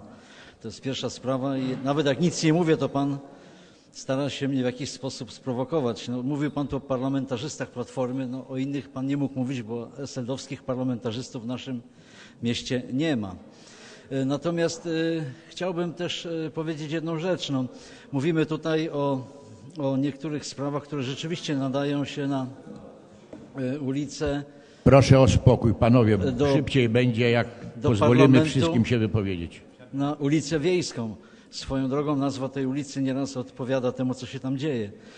Ale mm, y, no tutaj jest prosty przykład i proste stwierdzenie. No w Toruniu, w Bydgoszczy mamy, to już powtarzaliśmy wielokrotnie, mamy ten sam rząd, te same reguły i y, bezrobocie jest o wiele mniejsze. To nie jest tak, panie Krzysztofie, że podatek od nieruchomości to jest nic nieznaczącą y, kwotą w prowadzeniu działalności. Jeśli weźmiemy pod uwagę 1000-metrową halę, którą ktoś ma, to podatek od tego wynosi 20 tysięcy złotych rocznie, więc to nie jest tak mało, nawet 20, chyba kilka tysięcy, bo podnieśliśmy te podatki nie tak dawno. Ja natomiast chciałbym y, tutaj z tego miejsca udzielić y, bezpłatnie prezydentowi y, Rady i to będzie coś takiego, co y, na pewno będzie tak. I ludzie się ucieszą z tego, y, gazety o tym napiszą i przede wszystkim będzie to tanie. A więc wydaje mi się, że prezydent niech się poda do dymisji. To będzie tanio, ludzie się ucieszą i gazety o tym napiszą. Dziękuję. Rzeczywiście pan nagadał na temat właściwy ten dzisiaj to. Tak. Adwocem i potem radny Sławomir Bieńkowski. Panie Przewodniczący, Wysoka, niezwykłem dyskutować z rzeczami niedorzecznymi, bo, bo przecież nie o to chodzi, ale no muszę zareagować na powiedzmy głosy, które pozbawione są jakiejkolwiek wiedzy, rzeczy, znajomości i tak dalej. Hiszpania jest oczywiście negatywnym przykładem, to tylko dlatego, że budowano tam o wiele razy za dużo niż potrzeba. Tam budowano 400-500 tysięcy mieszkań rocznie. I oczywiście ten udział w dochodzie, jak mówiłem, 50% w PKB. W Polsce nie chodzi o budowanie 400 tysięcy mieszkań rocznie, bo by nie miało to szansy sprzedaży. Tu chodzi o kilkadziesiąt, mówiłem 50, 60, 70. To jest znacząca różnica, więc, no więc proszę nam tutaj nie wciskać kitu y, po prostu, bo jeśli ktoś nie ma pojęcia o gospodarce, to nie powinien się wypowiadać. Ktoś nie ma pojęcia o mechanizmach ekonomicznych, nie powinien się wypowiadać, bo to tylko ośmiesza swoją osobę. Ja w takich sytuacjach nie wypowiadam się, jeśli na czymś się nie znam. Jeśli mam wiedzę, to wtedy zajmuję głos i pokazuję to na przykładach. I przykład o którym mówiłem, ma głębokie potwierdzenie, uzasadnienie. To nie banki decydują, komu mają dać pomoc, to państwo decyduje. I nieważne, jaki bank jest, powiedzmy, jakiego pochodzenia. Jeśli państwo gwarantuje pomoc, to każdy bank z pocałowaniem ręki przyjdzie i tą pomoc weźmie, bo bankom też zależy na tym, żeby uruchomić strupień pieniądza, bo od tego mają odsetki i z tego żyją. A propos bezrobocia we Włocławku. Proszę Państwa, to za czasów rządu AWS-u dokonano reformy administracyjnej. Z tego tytułu we Włocławku straciliśmy ponad 3 tysiące miejsc pracy. 3 tysiące miejsc pracy to jest kilkanaście procent z obecnego bezrobocia, znaczy z obecnego zatrudnienia. To by wpłynęło przynajmniej na 3-4% e, punktów procentowych na obniżenie bezrobocia. Czy nie byłoby 21, może byłoby 17, może 18. Ale te 3 tysiące to nie były stanowiska opłacane mi, minimalnie. To były stanowiska opłacane dobrze. One generowały następne miejsca pracy poprzez siłę popytu, bo mając pieniądze w kieszeni można iść kupić w aptece, w sklepie, y, zabawić się na taksówkę i tak dalej. A więc poprzez likwidację miasta wojewódzkiego co najmniej 5 tysięcy Włocławek straci. I to nie jest decyzja Przedtem wtedy Władysława Skrzypka, gdzie był prezydent, tylko to jest decyzja parlamentu. A więc ukazuje państwu na każdym kroku, jak wielki wpływ mają decyzje związane z tym, co się dzieje w Warszawie. I jeszcze jedna uwaga. Tutaj mój szanowny kolega Andrzej, tego bardzo szanuję, lubię. Drogi Andrzeju, 20 tysięcy podatku do, od nieruchomości naprawdę jest kroplą w wydatkach firmy, która jako tako wygląda, bo jeśli firma nie wypracuje kilkaset złotych, powiedzmy, przychodu, czyli sprzedaży, miliona, dwóch, no to co to jest te dwie- 20 tysięcy? To jest nic, to są śmieszne naprawdę podatki. W związku z tym relatywnie odnosimy się irracjonalnie do tego, co wypowiadamy. Podatki stanowią coś, ale dla miasta to jest duży wpływ dla miasta, bo to jest prawie 30% naszego bu- budżetu. Natomiast dla firm, jeśli firmy nie stać jest na podatek e, od gruntu, od budowli, to nie taka firma lepiej nie powstaje, bo znaczy, że jest skazana na niepowodzenie, że ta firma nie ma pomysłu, że zarządzający tą firmą po prostu nie potrafią wiedzieć, jak to robić. I myślę, że tak do tego trzeba podchodzić. Dziękuję. Y, Radny, y, radny Sławomir Bieńkowski.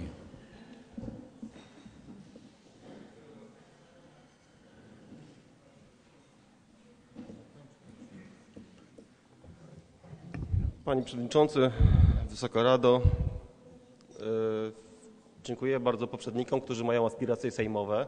Te plany ogólnopolskie powinny być bezpośrednio przekazane prezydentowi Komorowskiemu, premierowi Tuskowi, a i myślę, że pan radny Grządziel, jeżeli ma tak super koncepcję na zmniejszenie bezrobocia, powinien się udać do pokoju 300 ileś bodajże i przekazać to Andrzejowi Pałuckiemu, gdyż sukcesem Andrzeja Pałuckiego z ostatnich 7 lat rządów jest 1% bezrobocia, bezrobocia więcej co rok. Kiedy zaczynał swoją kadencję, to bezrobocie było bodajże około 15%, w tej chwili jest prawie 22%. E, Jeżeli mówimy o tym, że samorząd nie ma wpływu i to jest ten zły rząd, który już słyszymy kolejny raz od pana Jarzębowskiego, zaczyna być to nudne, to musiałbym powiedzieć, że ten sam rząd, te same ustawy, to samo prawo, te same warunki kryzysowe występują w całej Polsce.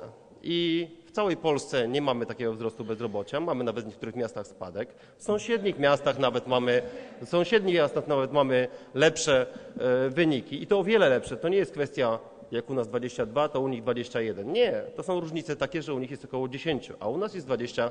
A w Grudziądzu, kolego? Więc, e, jeżeli U pana panie Malinowskiego jak jest? Panie Przewodniczący, nie przeszkadzał Pan moim przedmówcom, więc teraz proszę Nie, no bo też e, poczekać, Bo dobrze? jak pan przy- Bo do podaje jednych osób ma Pan pretensje, że fałszywe robią... przykłady, no to trudno Ale nie może Pan mi nie zareagować. przeszkadzać? Nie, nie. No dobrze. No to niech pan przypomni sobie czy może, Grudziądz. czy no. może Pan mi nie przeszkadzać? Mam swoje 10 minut. To proszę Mam mówić 10 prawdę. Minut I proszę w tym czasie się nie odzywać, dobrze? Bo to jest moje Do 10 rzeczy. minut i moim poprzednikom Pan nie Też przeszkadza. przerywam, koledze mówiłem, jeśli ktoś mówi Jakoś niezgodnie Panu. Jarzębowskiemu Pan nie przerywał, więc spokojnie. Ale panu będę przerywał, jeśli pan będzie mówił fałszywe Dziękuję dane. bardzo. Dziękuję bardzo.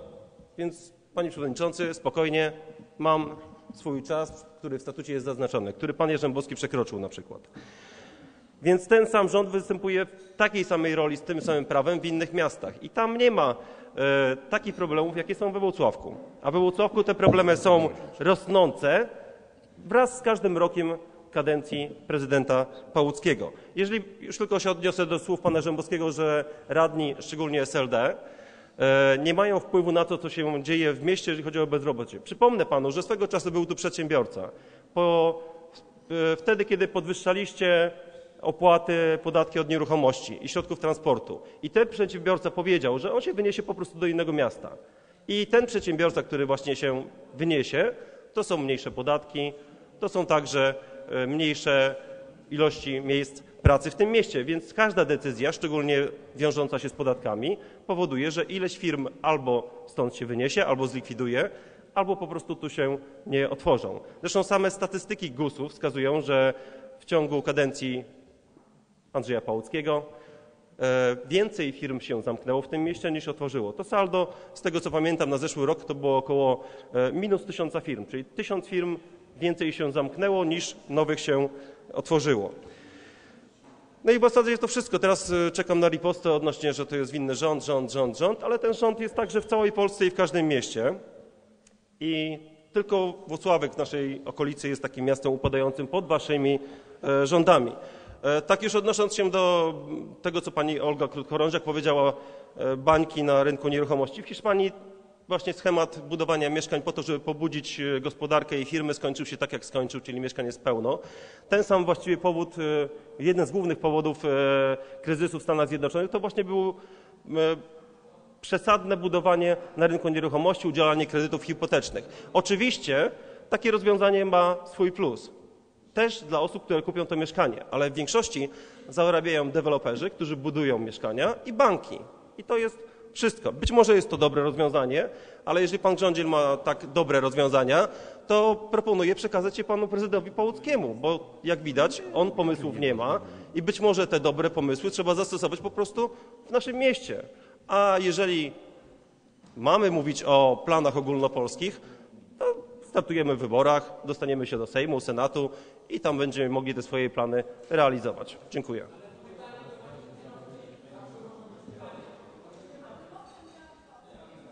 Nie ma, nie ma. Pani już raz zabierała w formie adwocem i nie może być adwocem do adwocem do adwocem i adwocem, bo nie skończymy tematu. Stawiam formalny wniosek o zamknięcie dyskusji. Stanisław, tak jest, udzielę panu. Chwileczkę, tylko najpierw przegłosuję wniosek. Stawiam formalny wniosek o zamknięcie dyskusji. Kto jest za? Poczekaj, zaraz udzielimy głosu. Dostanie pan głos. Nie, nie, nie najpierw, nie najpierw. Dziękuję. Chwileczkę. Kto jest przeciw? Panie przewodniczący, Kto jest przeciw? Proszę. panie przewodniczący, od Dziękuję. początku, od początku tej sesji zaczyna być to parodia. Wprowadzanie punktów do porządku obrad bez znajomości projektu uchwały, zamykanie dyskusji, kiedy pan chce, przerywanie radnym, którzy przemawiają, tak? A swoim kolegom pan nie przerywa, więc zaczyna to być parodia. Przerywam swoim też jak trzeba. Za zakończeniem dyskusji opowiedziało się 14 radnych, przeciw 9. Jeden radny się wstrzymał. Z uwagi na to, że pan radny Stanisław Krzemiński zgłosił się wcześniej, otrzymuje głos. I No proszę i mnie nie dobrze. pouczać na przyszłość. Dobrze, ale No, powinienem wcześniej to, a później głosować. najpierw się głosek, Dobra. głosuje wniosek formalny, a potem się udziela głosu. Bardzo proszę, Panie, panie Stanisławie. Przewodniczący, Szanowni Radni, tu się mówi o bezrobociu i tak dalej, i tak dalej. Zejdź mi na ziemię. Nie gadajmy o mieszkaniach, tylko o Wrocławku i o bezrobociu. Panie Przewodniczący, kilkadziesiąt lokali stoi pustych. Szyby są wybijane i tak dalej i puste. Dlaczego prezydent nie pomyśli, żeby obniżyć stawki, czy dać za symboliczną złotówkę, żeby ludzie mieli pracę? Dziękuję bardzo. Dziękuję bardzo. Bardzo proszę.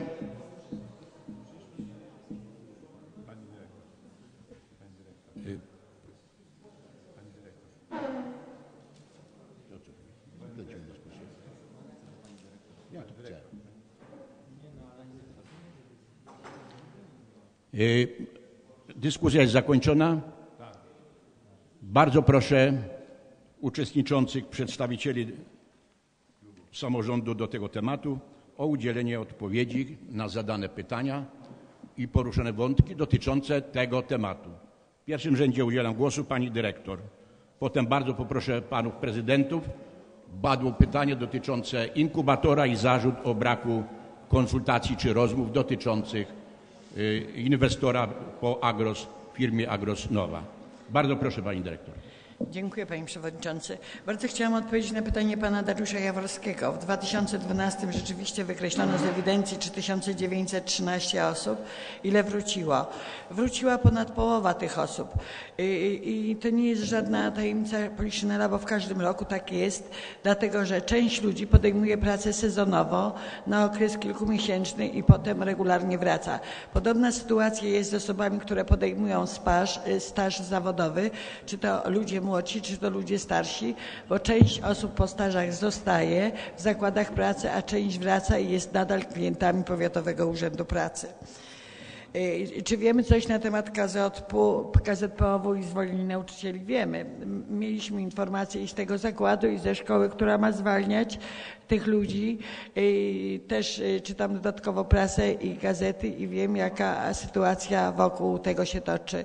Y, Część osób z KZPOW już było wcześniej rejestrowanych. Ostatecznie te decyzje oczywiście odnośnie rozwiązania firmy jeszcze całkowicie nie zapadły.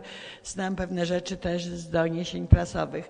jeżeli zajdzie taka konieczność, to Powiatowy Urząd Pracy, tak jak przy wszystkich zwolnieniach grupowych, udzieli pomocy również KZPOW y, przy pierwszej rejestracji bezrobotnych, poinformuje o możliwości skorzystania ze środków Funduszu Pracy, którymi dysponuje na pomoc tym osobom, które e, będą zwalniane. To nie wiem, czy wystarczy ta odpowiedź, czy jeszcze coś dodać?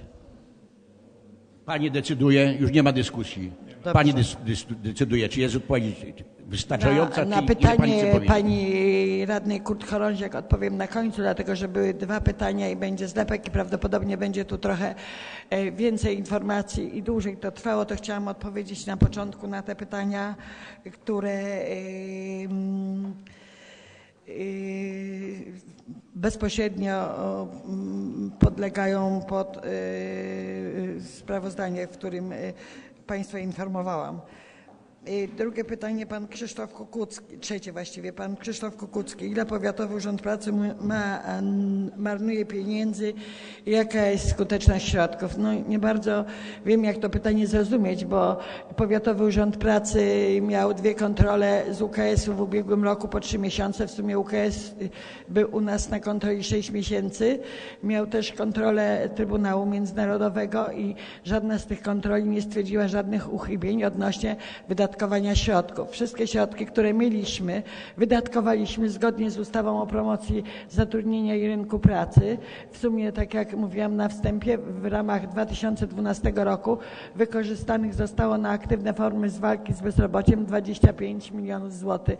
Nic mi nie wiadomo o tym, że, że my jakiekolwiek środki y, wydaliśmy niezgodnie e, z ustawą.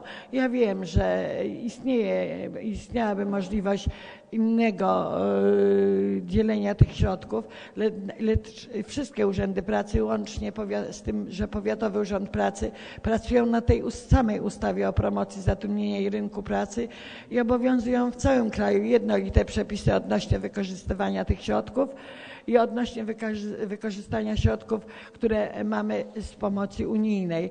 Także tu są takie obwarowania, które Powiatowy Urząd Pracy musi skrupulatnie e, e, e, sprawdzać i dawać te środki tym osobom, które na to zasługują zgodnie z ustawami naszymi unijnymi, bo w przypadku nierealnego, niewłaściwego wykorzystania tych środków musiałby Powiatowy Urząd Pracy te środki zwracać niesłusznie wydatkowane.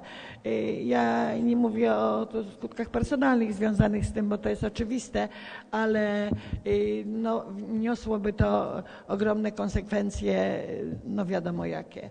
Y, Także my musimy działać, nie tylko Powiatowy Urząd Pracy, jeszcze raz powtórzę, w ramach możliwości, które dopuszcza ustawa o promocji zatrudnienia rynku pracy i programów, które mamy popodpisywane e, y, z- w ramach projektów europejskich 612 czy 21 y, czy innych.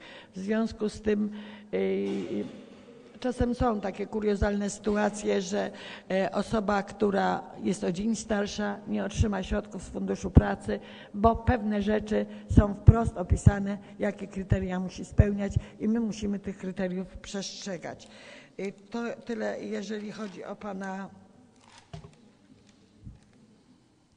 I jeszcze y, dotyczy teraz y, um, długość umów stażowych. 416 umów stażowych zostało zawartych, ponad 600 osób zostało skierowanych na staż. Od razu odpowiem, że umowy stażowe są różne. Roczne, sześciomiesięczne i w ubiegłym roku było chyba 30 osób skorzystało z najkrótszych czteromiesięcznych y, umów stażowych, ponieważ one, środki były do końca roku, a umowy zostały podpisywane były we wrześniu i, i w związku z tym, że projekt y, musiał być zrealizowany do końca roku, y, część umów y, była tych krótszych, czteromiesięcznych, ale generalnie najwięcej w ubiegłym roku było umów dziewięciomiesięcznych i później sześciomiesięcznych. Umów krótszych, czteromiesięcznych było naprawdę stosunkowo niewiele.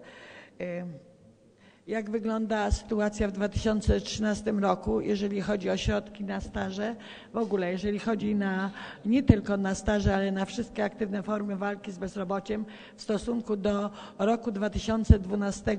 Tak jak mówiłam, mieliśmy 25 milionów z kawałkiem do dyspozycji. W tym roku mamy 35 milionów 100 tysięcy złotych na aktywne formy walki z bezrobociem, a więc tych środków na aktywne formy walki z bezrobociem jest więcej o 10, ponad 10 milionów złotych. Jest możliwość również skorzystania z dodatkowych środków, jeżeli będzie taka konieczność. Czekamy na otwarcie mm, przez ministerstwo terminu, do kiedy należy składać środki z rezerwy. Prawdopodobnie będzie to gdzieś około 15 czerwca i będziemy mogli skorzystać ze środków rezerwy, które znajdują się w Ministerstwie Pracy. Jak e, dotychczas, e, jeżeli kiedykolwiek zwracałam się do Ministerstwa Pracy o środki z rezerwy, zawsze otrzymywałam te środki w takiej wysokości, o jakie występowaliśmy. E, Dwa lata temu był taki boom, e, zresztą o tym Państwa informowałam, że tych środków było e, znacznie mniej. W ubiegłym roku już tych środków było też o 10 milionów więcej i teraz następne 10 milionów. Także jeżeli chodzi o sytuację samego Funduszu Pracy, może tych środków jest mniej, ale jest dużo więcej środków z funduszy unijnych, także w sumie e, tych środków na potrzeby Powiatowego Urzędu Pracy na dzień dzisiejszy powinno starczyć, bo nawet gdybyśmy mieli większą liczbę środków, y, to też musielibyśmy je mieć na początku roku, a nie w miesiącu grudniu, bo jeżeli dadzą nam dodatkowe środki w miesiącu gr- grudniu, to racjonalność wydatkowania tych środków jest praktycznie y, bardzo mała. Także chyba ewentualnie mogłyby być te pieniądze być na tworzenie miejsc pracy dla pracodawców, ale pracodawcy też w miesiącu grudniu raczej ograniczają zatrudnienie, aniżeli tworzą nowe miejsca pracy. Następne pytanie y, pana Jarosława Chmielewskiego, jak wygląda współpraca e, z Urzędem Miasta. Y, Ja sama siebie trudno mi jest oceniać z tego, co wiem, to jeżeli zwracam się o jakąkolwiek pomoc do Urzędu Miasta, nigdy tej pomocy nikt mi nie odmówił. Yy, Także yy, no nie chciałabym tego tematu rozwijać. Jeżeli chodzi o kon, y, inkubator przedsiębiorczości, ja nie mam wszystkich informacji i wszystkich danych, ale jeżeli y, chodzi o Na ten środki, temat będzie którymi- mówił pan prezydent Wojciech. Dobrze, ja tylko powiem, że jeżeli y, środki, y, które są w Urzędzie Pracy, też były przeznaczane, y, część środków, kilka osób otrzymało środki, y, wsparcie z Powiatowego Urzędu Pracy na stworzenie sobie miejsc y, pracy, między innymi w inkubatorze przedsiębiorczości. Mm, Teraz tak.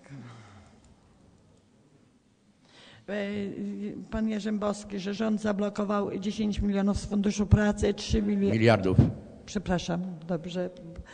E, 3 miliony.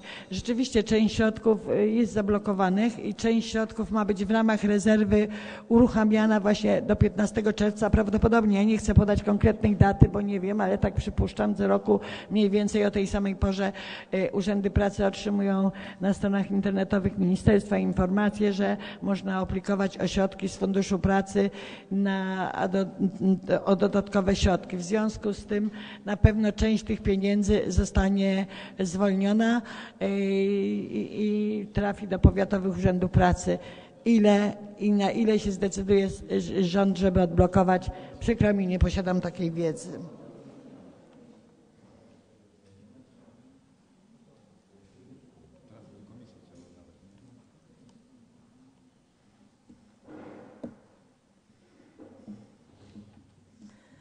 Y, Jeszcze y, teraz chciałam się odnieść do pytań, które stawiała pani radna Kurt-Chorąziak. Chodzi o nowelizację ustawy o bezrobociu. O nowelizacji ustawy o bezrobociu mówi się już cały rok. Konwent, y, ja również biorę pośrednio, może nie bezpośrednio udział w tych pracach, jeżeli chodzi o nowelizację y, y, ustawy, ponieważ jest konwent dyrektorów który spotyka się i też dyskutujemy y, na temat nowelizacji ustawy o promocji zatrudnienia i rynku pracy. Było już kilka propozycji y, zmian ustawowych i z części tych propozycji, z tego co mi wiadomo, na dzień dzisiejszy, no do końca to nie wiadomo, bo nowelizacji jeszcze nie ma. E, Ministerstwo się wycofuje, bo ja miałam kilka wersji. Między innymi była tego typu nowelizacja, że i to prawdopodobnie zostanie, że bezrobotny, który nie podejmie oferty pracy otrzymanej, zostanie wykreślony przez ok- na okres 9 miesięcy, a nie jak w tej chwili. Y, Te okresy były znacznie krótsze, 3-6 miesięcy. Nie było takich y, restrykcji, jeżeli otrzyma jedną propozycję. Teraz były dwie i były na okres 3 i 6 miesięcy. Więc praktycznie To jest ta jedna sprawa. Następną sprawą, którą poruszana była, to y, było mm, y, były y, sprawy dotacji dla bezrobotnych na tworzenie miejsc pracy i pracodawców. Y, Ministerstwo proponowało, żeby te pieniądze nie, nie trafiały do przedsiębiorstw w formie dotacji, tylko w formie pożyczek nisko oprocentowanych albo w ogóle nieoprocentowanych. Ta forma jeszcze nie została w 100% przedyskutowana, tylko ponieważ ja już tyle lat y, pracuję w tym Powiatowym Urzędzie Pracy, w związku z tym ja już, myśmy taką sytuację w Powiatowych Urzędach Pracy mieli. Nie było dotacji dla bezrobotnych, ale były pożyczki na tworzenie miejsc pracy, więc w pewnym sensie do niektórych rozwiązań ponownie chcę zwrócić ministerstwo. I tydzień temu czy półtorej słyszałam taką informację, że prawdopodobnie ministerstwo utrzyma jednak dotacje, a wycofa się z pożyczek. Proszę Państwa, na dzień dzisiejszy ja e, wiem jeszcze jedno, że e, ministerstwo dąży do tego, żeby e, urzędy pracy nie zajmowały się tylko tymi bezrobotnymi, ale żeby pozwolić na to agencjom pracy. Z kolei były dwa y, programy pilotażowe, jeden w Gdańsku, drugi już nie, nie chwilowo mi zapomniałam. Y, I te programy pilotażowe skończyły się fiaskiem. Ale w Krakowie i w innych miastach, w czterech jeszcze, rząd prowadził też teraz nowe programy pilotażowe odnośnie rozeznania sytuacji, jak to będzie robione. Na, ale to też jest zapis ustawowy, który na dzień dzisiejszy pozwala korzystać z tej formy pomocy, że państwo z Funduszu Pracy daje na jednego, na aktywizację bezrobotnego 5,5 tysiąca złotych i mogą się e, zajmować e, te firmy e, te, tego typu sprawami. Ale nie działa to tak dobrze, dlatego że tak bardzo łatwo jest sprzedać na rynku pracy dobrego fachowca, bo z tym nie ma najmniejszego problemu. Dłużej i trudniej jest zaktywizować ludzi długotrwale bezrobotnych, którzy yy, których nikt praktycznie nie chce przyjąć. I tu ta funkcja ze strony yy, urzędów jest duża i mi się wydaje, że tu powinien yy, iść pomoc rządu dla tych ludzi, os, osób długotrwale bezrobotnych. Wszyscy mówią, że yy, roboty publiczne nie kreują nowych miejsc pracy. Ja to dobrze o tym wiem, że one nie kreują, ale przy 29,6 ludzi, y, którzy powyżej roku nie mają zatrudnienia, to zaktywizowanie tych ludzi i nawet wysłanie do rok, robót publicznych to są też efekty, bo potem część tych ludzi wraca na rynek pracy i szuka sobie po szkoleniach, po przekwalifikowaniach rynku pracy. Ja nie chcę tu siać żadnej propagandy, czy te urzędy pracy są potrzebne, czy te urzędy pracy są niepotrzebne. Yy, Nie, ja siebie nie mam zamiaru oceniać, ani, ale yy, jest tylu ekspertów i widocznie jak tyle lat one były, to jeszcze pewno troszeczkę potrwają i nie wiem, czy tak szybko o, znikną. Może forma się troszeczkę zmienić, ale, ale y, prawdopodobnie te urzędy będą.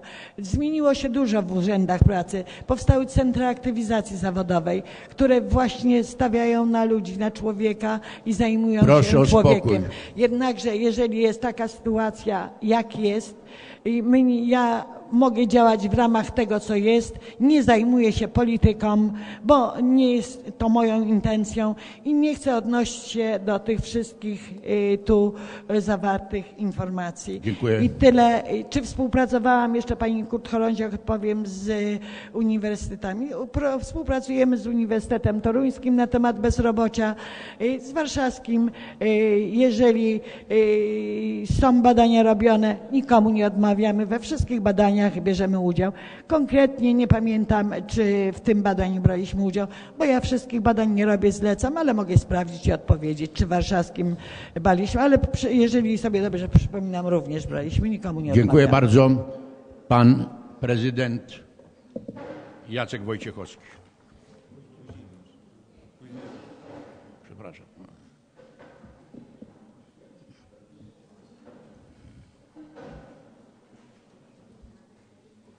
Panie Przewodniczący, Wysoka Rado, jako że padło pytanie co do efektów pracy inkubatora, to chciałbym e, powiedzieć, że wszystkie wskaźniki, wszystkie wskaź- wskaźniki objęte tym projektem zostały zrealizowane e, w terminie.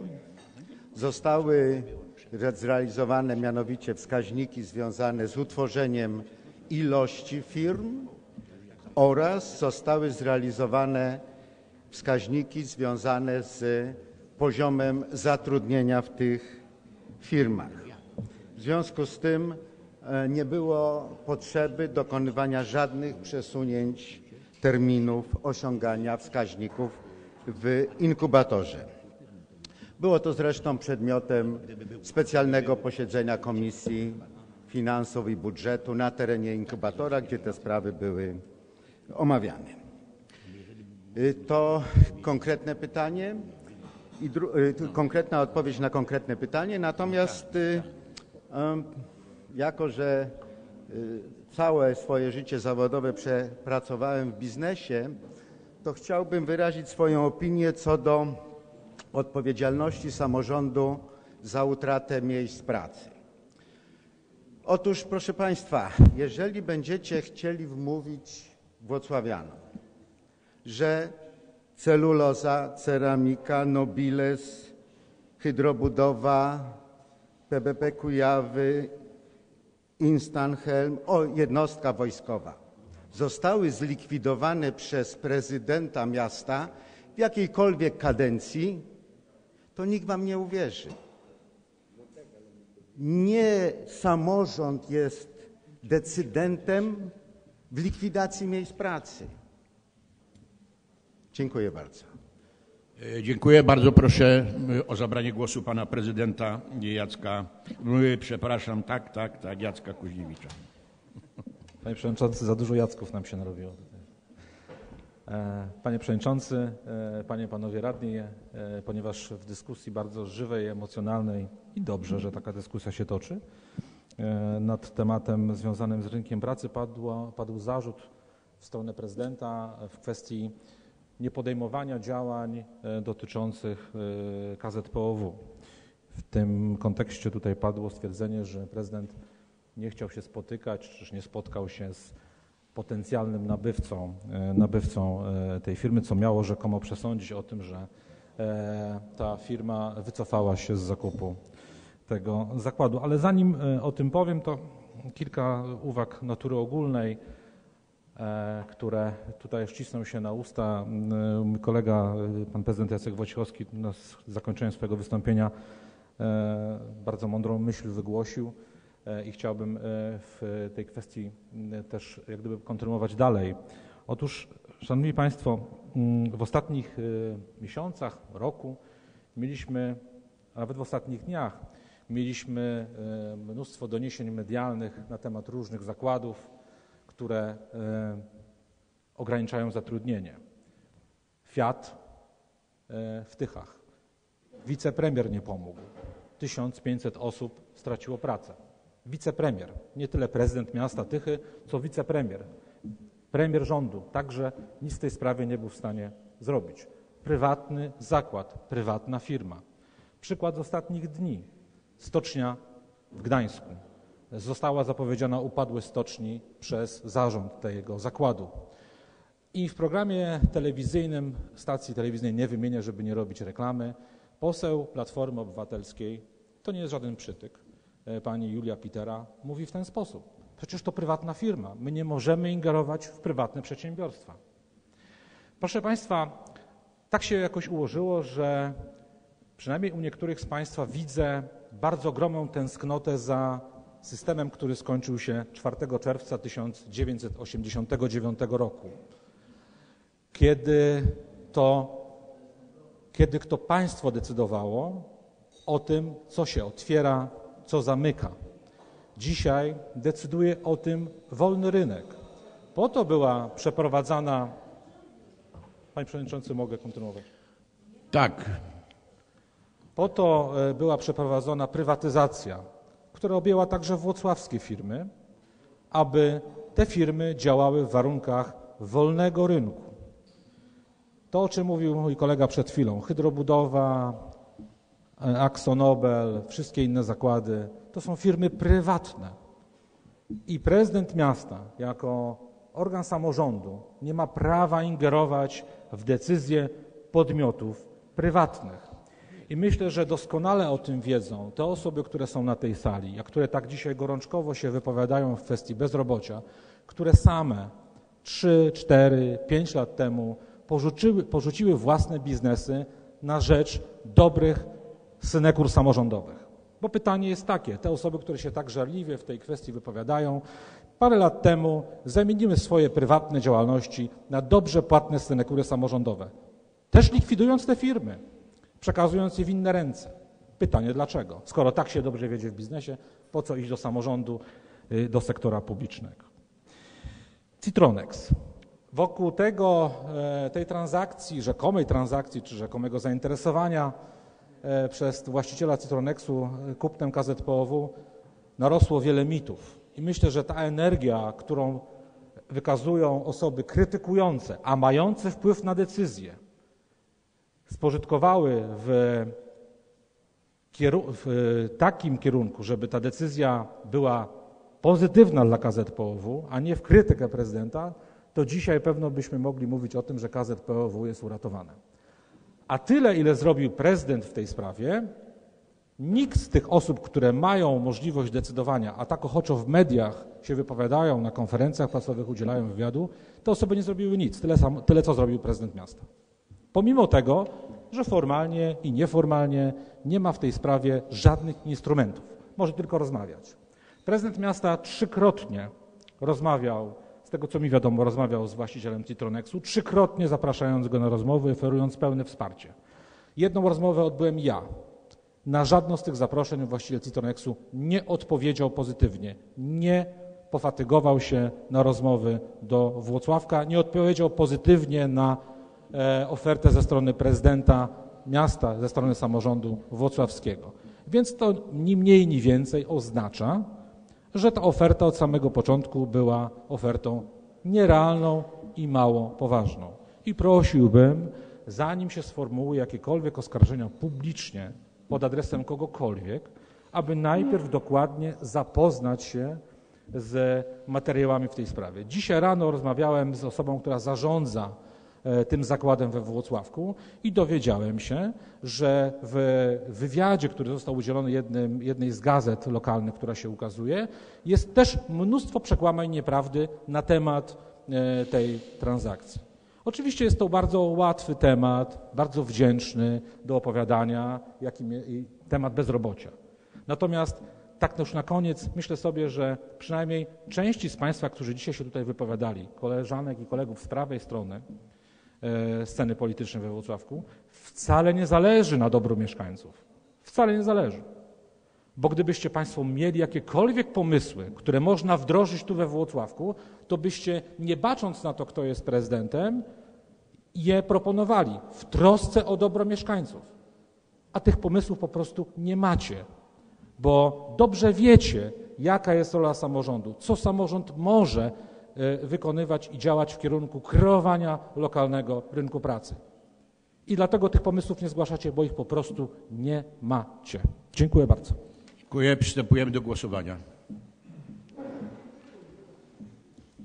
Panie radny, przystępujemy do głosowania. Panie Przewodniczący, ja wzorem mojej koleżanki nieco wcześniej urodzonej Nie udzielam e, panu chciałbym głosu powiedzieć, że odbieram panu głos. sygnalizowałem mój głos. Nie. Sygnalizowałem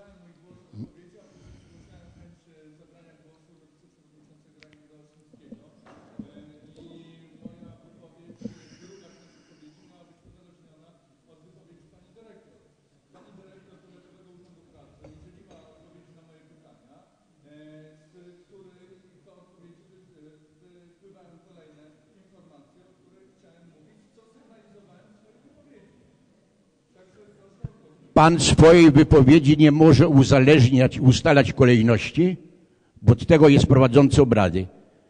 Wysoka Rada przegłosowała. Gdyby pan zgłosił się do dyskusji, po, y, gdyby chciał zabrać po Stanisławie Krzemienieckim lub przed nim, to byłaby inna rzecz. Ale nie po odpowiedziach. Bardzo pana przepraszam. Bardzo pana przepraszam. Przystępujemy do głosowania. Przystępujemy do głosowania. Kto z Pań Panów Radnych jest za przyjęciem sprawozdania z realizacji programu promocji zatrudnienia oraz aktywizacji lokalnego rynku pracy za rok 2012? Kto jest za? Proszę podnieść rękę do góry. Dziękuję bardzo. Kto jest przeciwny? Dziękuję. Kto się wstrzymał od głosu?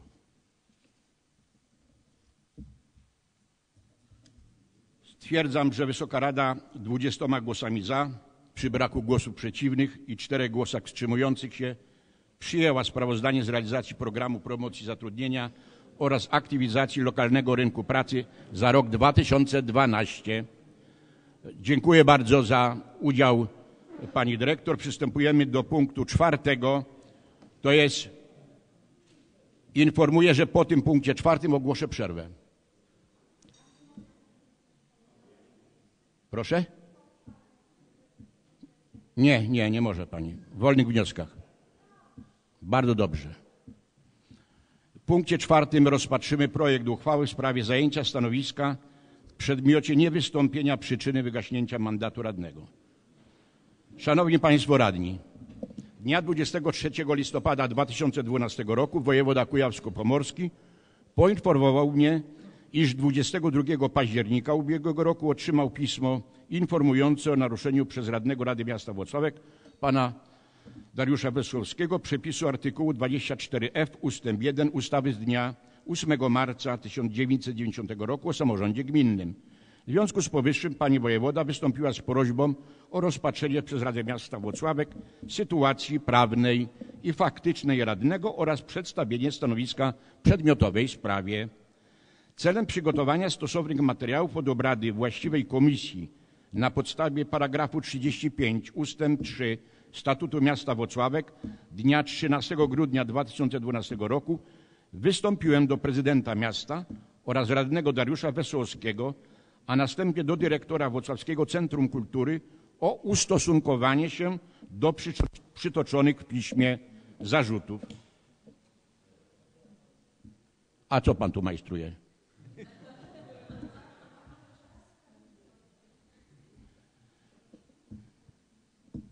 Po uzyskaniu odpowiedzi w sprawie 21 grudnia 2012 roku poleciłem przygotowanie stosownego projektu uchwały pod obrady Rady Miasta w sprawie zlecenia Komisji Rewizyjnej przeprowadzenia postępowania wyjaśniającego oraz przygotowanie projektu uchwały w sprawie mandatu radnego.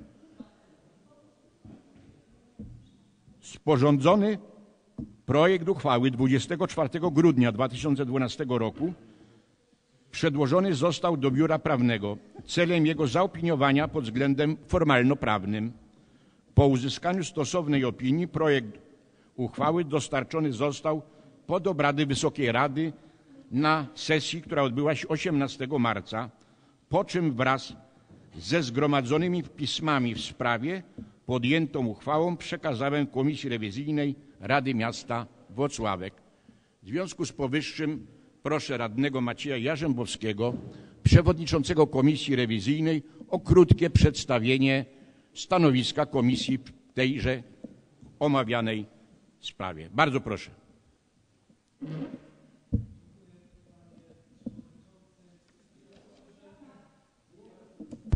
Głosu nie ma. Gdzie, gdzie, gdzie jest mechanik? Panie Przewodniczący, jeszcze raz bardzo dziękuję za udzielenie głosu. Jeżeli można, to w dwóch zdaniach tylko, ponieważ Pan Przewodniczący jakby genezę rozpatrywania tej kwestii przez Komisję Rewizyjną już przedstawił. Ja tylko powiem, że na, na podstawie zebranych informacji Komisja Rewizyjna jednogłośnie uznała, że e, radny Dariusz Wesołowski nie złamał e, przepisów ustawy o samorządzie gminnym i nie ma tutaj jakiejkolwiek podstawy do tego, żeby wygaszać e, mandat. To ta informacja, którą przekazał wojewoda kujawsko-pomorski była jakby bardzo mocno na wyrost i myślę, że nawet trochę jakby tutaj ten czas, który e, Rada Miasta i który Komisja e, poświęciła i poświęca cały czas tej kwestii, e, to jest czas zupełnie zmarnotrawiony, ponieważ sprawa jest bardzo, bardzo oczywista. Dlatego Komisja Rewizyjna zaproponowała przyjęcie projektu uchwały czy podjęcie uchwały w sprawie zajęcia stanowiska w przedmiocie niewystąpienia przyczyny wygaśnięcia mandatu radnego. Ja jeszcze powiem tylko, że Komisja Rewizyjna przygotowała, o ile dobrze pamiętam, już cztery tego rodzaju projekty uchwał, które zostały podjęte przez Radę Miasta. Przypomnę, że były tutaj protesty radnych opozycji. Nie wiem, czy dziś będą e, protestować, tak jak mają to zwykle w zwyczaju. E, nawet nie protesty, tylko donosy do wojewody, żeby e, zbadał te uchwały podjęte przez Radę Miasta i w każdym z tych przypadków wojewoda potwierdził słuszność uchwał podejmowanych przez Radę Miasta, a przygotowanych przez Komisję Rewizyjną. E, także jeszcze raz proszę o podjęcie także e, tej uchwały. Dziękuję. Dziękuję. Otwieram dyskusję. Kto z Państwa chciałby zabrać głos? Bardzo proszę Pani Radna Olga Krótkorąziak.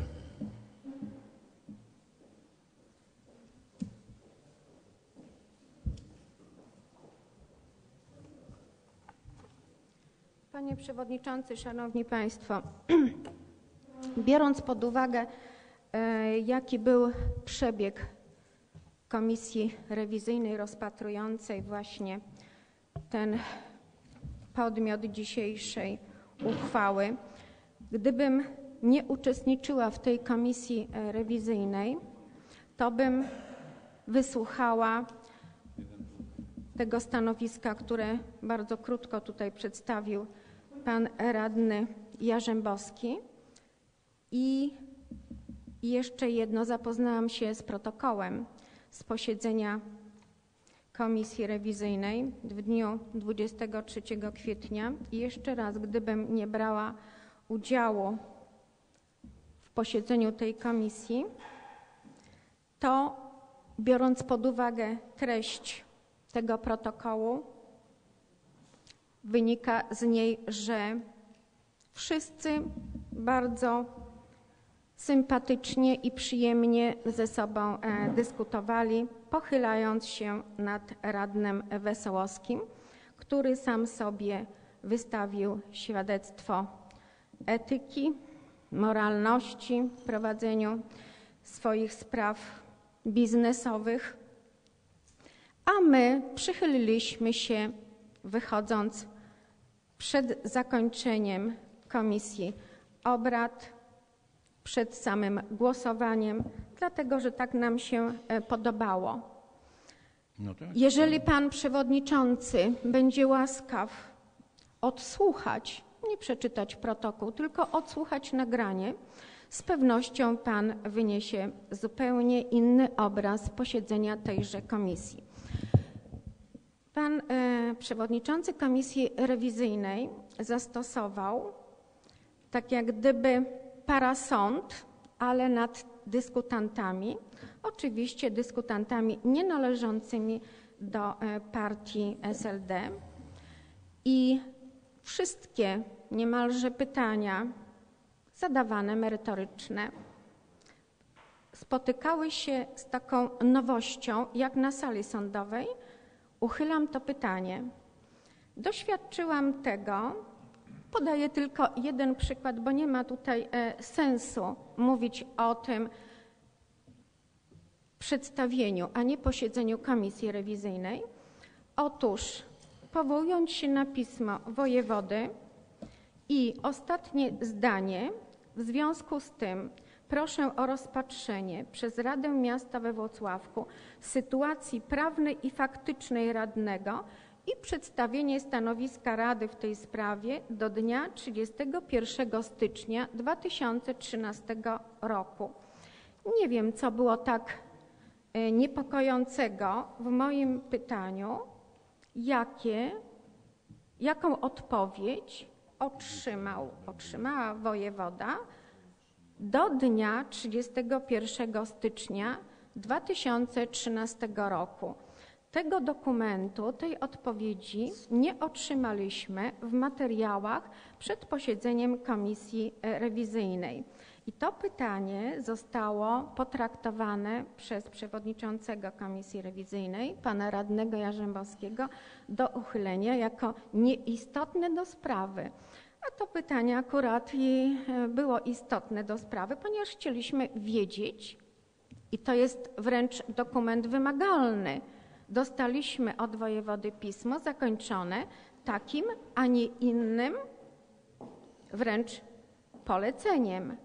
Proszę o stanowisko Rady w tej sprawie do 31. Skoro tego posiedzenia Rady, to znaczy posiedzenia Rady oczywiście były w grudniu, ostatniego tam e, e, dnia grudnia, ale nie mieliśmy, ja prosiłam, jakie było wytłumaczenie do wojewody i tutaj jest e, pytanie, bo sądzę, że to do pana przewodniczącego Rady. Pan przewodniczący Rady e, no teraz jest zajęty, no ale. E, Słucham, słucham będzie, pani, tak? pani mówi, bo, bo na razie Tak? nic konkretnego pani nie E, powiedziała, także No, ja słyszę, jestem, proszę ja zarzuty. jestem do przyzwyczajona stanowiska. do pana e, komentarzy. Nie jest to No. dla mnie e, zaskoczeniem. No to- tym no to proszę bardziej, się do mnie nie zwracać. Tym bardziej jak do wysłuchałam tutaj, mm, że żeby No coś powiedzieć, to trzeba się znać. Tutaj radny Grządziel dzisiaj się popisywał inwektywami.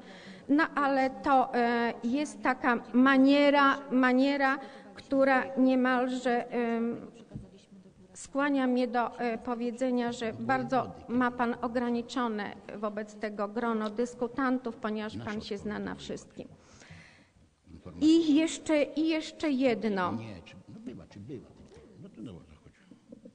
Biorąc pod uwagę przebieg i świadectwa, jakie były wystawiane przez podległych pracowników prezydenta miasta i wspólnota partyjna, jak i oświadczenie radnego Wesołowskiego, że jest niewinny, nie przewiduje żadnej i żadnego innego stanowiska, aniżeli przegłosowanie na tak.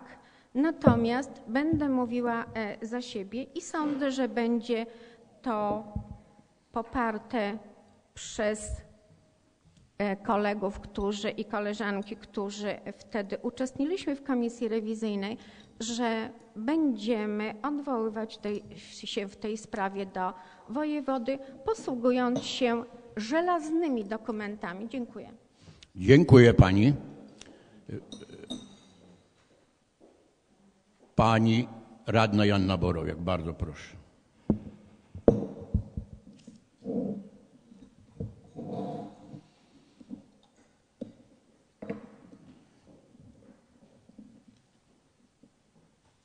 Panie Przewodniczący, Wysoka Rado, zapoznałam się szczegółowo z treścią uzasadnienia do e, projektu uchwały w sprawie zajęcia stanowiska w przedmiocie niewystąpienia przyczyny wygaśnięcia mandatu radnego Dariusza Wesołowskiego i chciałabym e, zapytać, e, jakie wykształcenie w zakresie kultury, sztuki i tradycji, ochrony zabytków i opieki nad zabytkami oraz kultury fizycznej i sportu, tu czytam z treści uzasadnienia, e, posiada pan radny Dariusz Wesołowski i w związku z powyższym, co legitymizuje pana radnego do uzyskania miana specjalisty w zakresie kultury, sztuki, tradycji, ochrony zabytków i opieki nad zabytkami oraz kultury fizycznej i sportu, ponieważ autor uzasadnienia, przewodniczący komisji rewizyjnej, pan radny Jarzębowski, wskazał, że zgodnie z ustawą z dnia 23 kwietnia 2003 roku o działalności pożytku publicznego i wolontariacie w pracach komisji mogą uczestniczyć o- z głosem doradczym osoby posiadające specjalistyczną wiedzę w dziedzinie obejmującej zakres zadań publicznych, których konkurs dotyczy. Stąd ponawiam pytanie, co legitymizuje pana radnego Dariusza Wesołowskiego poza pełnieniem funkcji przewodniczącego Komisji Kultury i Sportu do uzyskania miana specjalisty w powyższym przytoczonym z treści uzasadnienia zakresie. Dziękuję. Nim udzielę głosu panu y, przewodniczącemu Komisji Rewizyjnej, chciałbym odpowiedzieć pani radnej Oldze Krótkorąziak w związku z zatroskaniem się co z terminem, y, który wojewoda wyznaczył. Więc zgodnie z procedurą do wojewody informowaliśmy trzykrotnie. Wojewoda znał każde nasze posunięcie. Pierwsza odpowiedź była w połowie stycznia, potem y, kolejna była y, w marcu i ostatnia w kwietniu. Żeby zachować wszystkie procedury, a nie tylko własna wola przewodniczącego, to wymaga niestety czasu. Bardzo proszę o zabranie głosu y, radnego Macieja Żebowskiego, potem radny Krzysztof Grządziel. Panie Przewodniczący, tak jak słyszeliśmy przed chwilą, tak samo i na komisji, na posiedzeniu Komisji Rewizyjnej Państwo radni z opozycji próbowali mm, dyskusję wyprowadzić poza tory dyskusji merytorycznej, e, to znaczy poza tory e, tego upoważnienia, e, które uzyskała Komisja Rewizyjna od Rady Miasta w zakresie wyjaśnienia tej sprawy. I tak e, jak nie zastanawialiśmy się nad kwestią e, posiadania czy nieposiadania jakichś specjalistycznych uprawnień przez pana radnego Wesołowskiego, bo przypomnę, nie to było kwestią wyjaśnienia. Ja os osobiście, prywatnie bardzo cenię pana radnego i uważam, że takie szczególne jako przewodniczący e, Komisji Kultury umiejętności i wiedzę posiada. Pani może oczywiście mieć na ten temat inne zdanie, to już jest pani prywatna sprawa, ale to w ogóle nie było przedmiotem e, jakby rozpatrywania przez e, komisję rewizyjną, tylko to, czy zostały naruszone e, przepisy dotyczące prowadzenia działalności gospodarczej i pełnienia funkcji radnego, czy też nie. Dlatego wszelkie tego rodzaju pytania i próby rozpoczęcia dyskusji pozamerytoryczne były przeze mnie ucinane, tak jak zauważyła to pani radna Olga Krót-Chorąziak. Y, To tyle, jeżeli chodzi o, o wyjaśnienie dotyczące tych y, pytań czy, czy jakichś takich insynuacji, które y, pani, panie radne tutaj przedstawiły. Tak jak powiedziałem, były, była rozpatrywana kwestia tylko i wyłącznie w zakresie upoważnienia udzielonego przez Radę Miasta. E, Kwestia terminów także nie była e, rozstrzygana przez komisję rewizyjną, czy, czy ta e, tematyka nie była przedmiotem debaty. Ja to także ucinałem, dlatego że no, myśmy nie pozostali powołani do tego, czy terminy zostały naruszone, a jeszcze wcześniej, czy w ogóle wojewoda po, e, posiada takie e, kompetencje, takie władcze uprawnienia, żeby samorządowi jakiekolwiek terminy ws- e, narzucać, czy też być może tylko i wyłącznie wskazywać. Ja myślę, że Tak jak y, do tej pory nie pojawiły się żadne głosy i y, stricte merytoryczne do tej kwestii, tak powinniśmy przejść do y, głosowania i podjąć uchwałę. Natomiast czy później będzie podejmowana kontrola słuszności rozstrzygnięcia przez wojewodę, czy Państwo będziecie e, zgłaszali wojewodzie swoje e, skargi e, i sugestie, to już jest zupełnie inna kwestia. Na tą chwilę myślę, że nie powinniśmy już więcej czasu temu, e, tak jak powiedziałem na wstępie, poświęcać. Dziękuję bardzo. Dziękuję, no ale dopóki nie zakończymy dyskusji, pani, pani radna Joanna Borowak-Dwocem, potem radny Krzysztof Grządziel.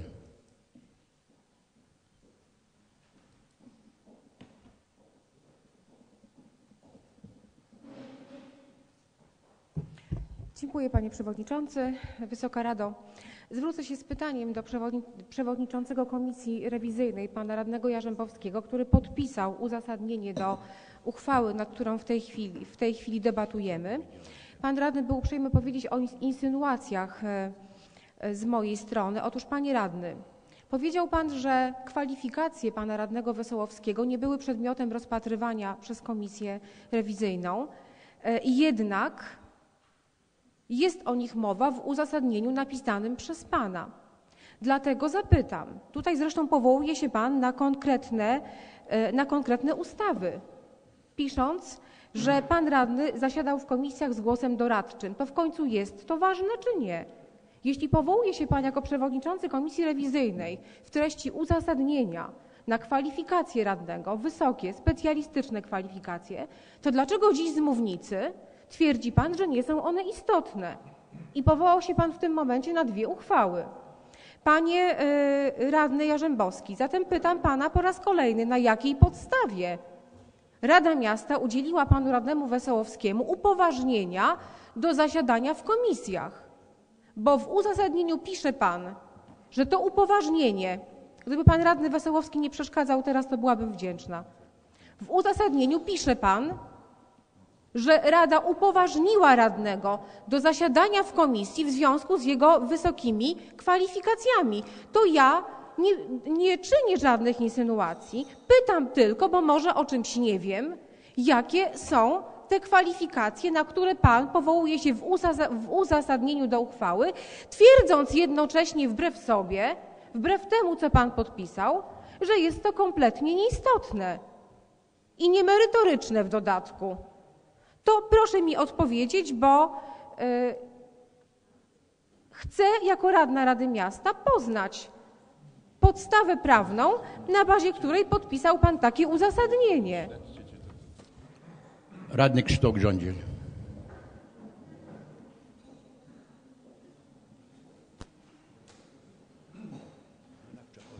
Panie Przewodniczący, Wysoka Rada, Szanowni Państwo.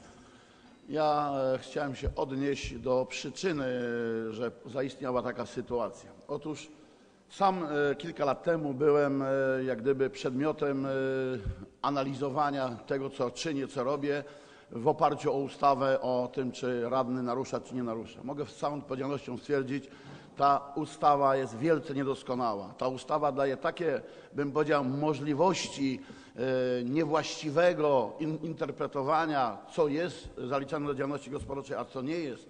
Wreszcie jest tak sformułowana, że e, daje, daje szansę, by wręcz toczyć walkę polityczną, jeśli, jeśli e, jeden drugiemu się nie podoba, myślę o opcjach politycznych. Po zapoznaniu się z tym, czego to dotyczy, chcę stwierdzić jednoznacznie, jest to kuriozalna sprawa, śmieszna wręcz, że w ogóle wojewoda, a raczej jego służby w ogóle zainteresowały się tym i pod, podjęły sprawę, że tym, się, że tym się zajmujemy. Tu nie występują żadne przypadki, żaden przypadek tego, że co, cokolwiek zostało naruszone. Nawet gdyby chciał złośliwie, powiedzmy, tą e, ustawę interpretować i ten punkt bodajże 23G czy F, bo 24. W każdym razie ja e, swój przykład przytoczę. Pięć zarzutów mi sześć czy pięć lat temu dano. E, Oczywiście wtedy musiałem e, wynająć dobrych prawników, e, gdzie wszystko obaliłem i Niestety, albo może stety, zespół doradców wojewody, bo taka kolej była, musiał przyznać mi rację. Natomiast ten przykład mój pokazuje, jak wiele w tym kraju jest prawa niedoskonałego, jak wiele marnotrawimy sił i środków, by zajmować się rzeczami błahymi. Sprawa kolegi Wesołowskiego należy do bardziej błahych niż moje, bowiem nie ma nic wspólnego z tym wszystkim. Będę głosował z pełną odpowiedzialnością, żeby e, po prostu oczyścić kolegę z podejrzeń, który nie ma uzasadnienia. Natomiast tu się rodzi pytanie, moje koleżanki, koledzy radni, no przecież my musimy zwracać uwagę, że jeśli jest złe prawo, to przecież nie zasklepimy się tutaj. I uważam, że tą ustawę też należy szybko zmienić, bo czyni krzywdę wielu ludziom, tak jak rozpatrywaliśmy sprawę koleżanki Szczepańskiej, też niesłusznie po- podejrzewanej i tak po kolei, tak po kolei. Ta ustawa powinna w końcu doczekać się wielkiej, du, dużo większej precyzji, bo tak to zaprzątamy głowę, marnujemy czas. Dziękuję. Pani w jakiej formie, Pani Radno? Pani w jakiej formie?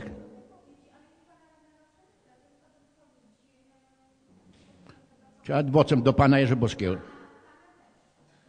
No bardzo proszę. Tak. Tylko wie Pani, że formuła adwocem to jest trzy minuty. Tak, żeby nie zapomniała Pani tylko o tym, proszę. Panie Przewodniczący, Pan przed chwileczką powiedział, poinformował nas Pan, że do wojewody były kierowane mm, różne pisma y, informujące o toku postępowania. Y, Chciałabym, żeby Pan y, odpowiedział, czy to były pisma opatrzone treścią tajne przez poufne, ponieważ na dwóch komisjach rewizyjnych wnioskowałam, żebyśmy zapoznali się właśnie z tymi ym, pismami.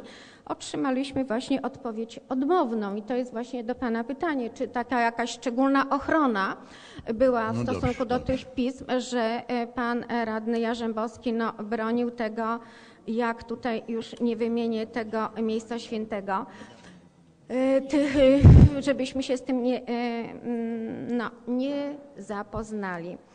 Ale przy tej e, okazji chciałabym również powiedzieć bardzo króciutko i, i tutaj jak gdyby wejdę w tok tego, co powiedział pan radny Grządziel. Otóż w styczniu 2012 roku wpłynął na ręce pana przewodniczącego wspaniały anonim dotyczący mojej osoby. E, Między innymi, że e, no tamten dwudziestoletni samochód, Co to ma do przepraszam adwocem? bardzo, to jest, proszę mi nie przerywać, ja nie wy, jeszcze nie wyczerpałam trzech minut. E, Ale i adwocem pan- ma miała Pani tak, mówić. e, Do wypowiedzi Krzysztofa Niewyraźnie Grządziela. pisze. Jarzębowskiego. To jest niewygodna ta wiedza. Niewyraźnie pisze, dwudziestoletni samochód nie ujęty, a przepisy pozwalają, żeby nie był ujęty. No i dwudziestoparoletni dom, gdzie ubezpieczyciel nie chciał e, tego ubezpieczyć wyżej aniżeli 200-300 tysięcy. E, Pan przewodniczący kilkukrotnie wystąpił w tej sprawie e, do wojewody i do Urzędu Kontroli Skarbowej w Bydgoszczy. I to jest właśnie to nawiązanie, że e, miał coś e, na myśli, nie wiem do dzisiaj co. W każdym bądź razie ja przez UKS zostałam bardzo e, sprawdzona aż do numeru skarpetek jestem bardzo z tego zadowolona, że w oświadczeniu majątkowym pomyliłam się o 40 centymetrów mieszkania i drugiego o 1,60 m, a pozostałe bardzo oboczne tematy było więcej aniżeli, napisałam więcej, że mam aniżeli mam. Na przykład 20 zł w diecie miałam więcej, a panowie e, z UKS-u dopatrzyli się, że mam mniej. I to tyle. Dziękuję bardzo. Dziękuję bardzo. Nie, po, nie powiedziała Pani tylko wszystkiego. Nie, nie powiedziała Pani wszystkiego. Jak Państwo wiecie, po sławnym wystąpieniu Pana Radnego Bieńkowskiego, że do między do moich obowiązków należy sprawdzanie oświadczeń majątkowych. I skoro się pojawiły wątpliwości, wystąpiłem do Pani Radnej z uprzejmą prośbą o wyjaśnienie. W odpowiedzi otrzymałem oczywiście pouczające i obraźliwe pismo. Nie pozostało nic do rzeczy, jak tylko przekazać to służbom do tego powołanym. Dziękuję bardzo. Pan radny Władysław Skrzypek. Dobrze.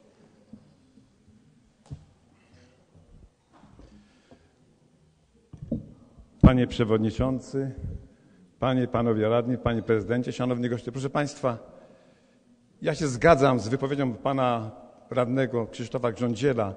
Do czego my dochodzimy, proszę Państwa? Żeby donosić jeden na drugiego, w jakim kraju żyjemy. Zajmijmy się, proszę Państwa, sprawami miasta Wocławka. A co chwila to donoszę do prokuratury, do Najwyższej Izby Kontroli. Ja też to cierpiałem. Proszę Państwa, nie poznaję tej rady.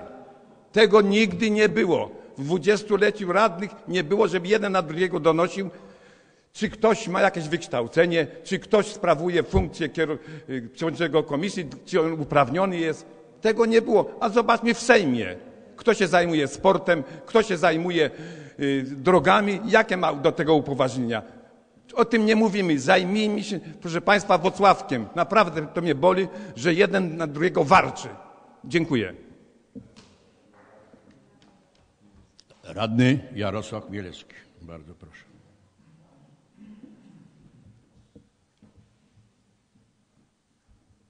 Bardzo proszę, panie Jarosławie, mówmy na temat. Ja wiem, że pan będzie tak to czynił, ale, ale tak na, na wszelki wypadek. Panie Przewodniczący, Wysoka Rado, ja krótko chciałbym tylko y, powiedzieć o tym, że my jako klub y, Prawa i Sprawiedliwości protestujemy przeciwko mm, takim podchodzeniu do rozwiązywania problemów, jakie mamy, bo niewi- niewątpliwie jest to swego rodzaju problem, jeżeli chodzi o kwestie ym, zbadania, czy wystąpiły przyczyny, czy nie wystąpiły y, takie przyczyny. Zresztą tutaj y, wielokrotnie y, było mówione wcześniej, że to nie my powinniśmy, ale się zajmować tego typu kwestiami, bo mamy orzekać we własnych sprawach. Jak gdyby bardzo często to jest zupełnie inna kwestia. No, prawo nakłada na nas taki obowiązek. Dzisiaj ono jest niedoskonałe w tej materii, ale, ale no jest jakie jest. Natomiast chciałbym wspomnieć o tym, y, przeciwko czemu y, protestujemy. No, powiem tak, mam przed sobą protokół Komisji Rewizyjnej z 23 kwietnia 2013 roku. Byłem na y, posiedzeniu, wyszedłem oczywiście w trakcie tegoż posiedzenia na znak protestu i teraz właśnie m, też mówię o tym, że nie zgadzamy się właśnie y, z tym, że w protokole nie są ujęte również wszystkie kwestie, które były poruszane y, w trakcie tegoż posiedzenia. I oczywiście wybieg zastosowany przez przewodniczącego komisji dotyczący tego, jakoby nie było wszystkiego słychać na końcu tego protokołu jest świetny, bo tak naprawdę to zawsze tym ostatnim y, zdaniem y, będzie mógł się obronić, ale ja myślę, że to nie o to y, w tym wszystkim chodzi. Y, Chciałbym jeszcze zwrócić uwagę na y, kwestie, które już były z tej mównicy poruszane. Pamiętacie Państwo, że y, swego czasu była rozpatrywana kwestia mandatu państwa osińskich, y, pani Szczepańskiej, mojego y, mandatu przez Wysoką Radę i oczywiście wtedy w porządkach obrad były również informacje na temat tego, kogo ta kwestia dotyczy. Tym razem po raz kolejny nie mamy do czynienia z tego typu sytuacją, tak samo jak i w przypadku pana przewodniczącego Wawrzonkowskiego, gdzie ta kwestia była rozpatrywana. Następną kwestią jest to, że ani pan przewodniczący Wawrzonkowski, ani pan radny Wesołowski nie był obecny na komisji rewizyjnej, żeby na ten temat podyskutować i, i ewentualnie, żeby można było mu zadać przed tym, zanim zostanie y, przygotowany projekt uchwały, y, porozmawiać na ten temat, więc to też y, nad tym ubolewam i, i szkoda, że y, tak się nie stało. Chciałbym poinformować, że klub radnych Prawa i Sprawiedliwości w ramach protestu nad tym, że taką Państwo przyjęliście y, procedurę procedowania nad y, właśnie tym wnioskiem, będzie głosował y, przeciw, aczkolwiek mówię, my nie rozpatrujemy tego w kategoriach merytorycznego rozstrzygnięcia, bo tak jak powiedziałem, nie można było sobie tutaj do końca wyrobić zdania na ten temat, między innymi przez to, że y, radny był y, nieobecny na, tych, na tym posiedzeniu. Natomiast w ramach protestu będziemy głosować przeciw. Dziękuję.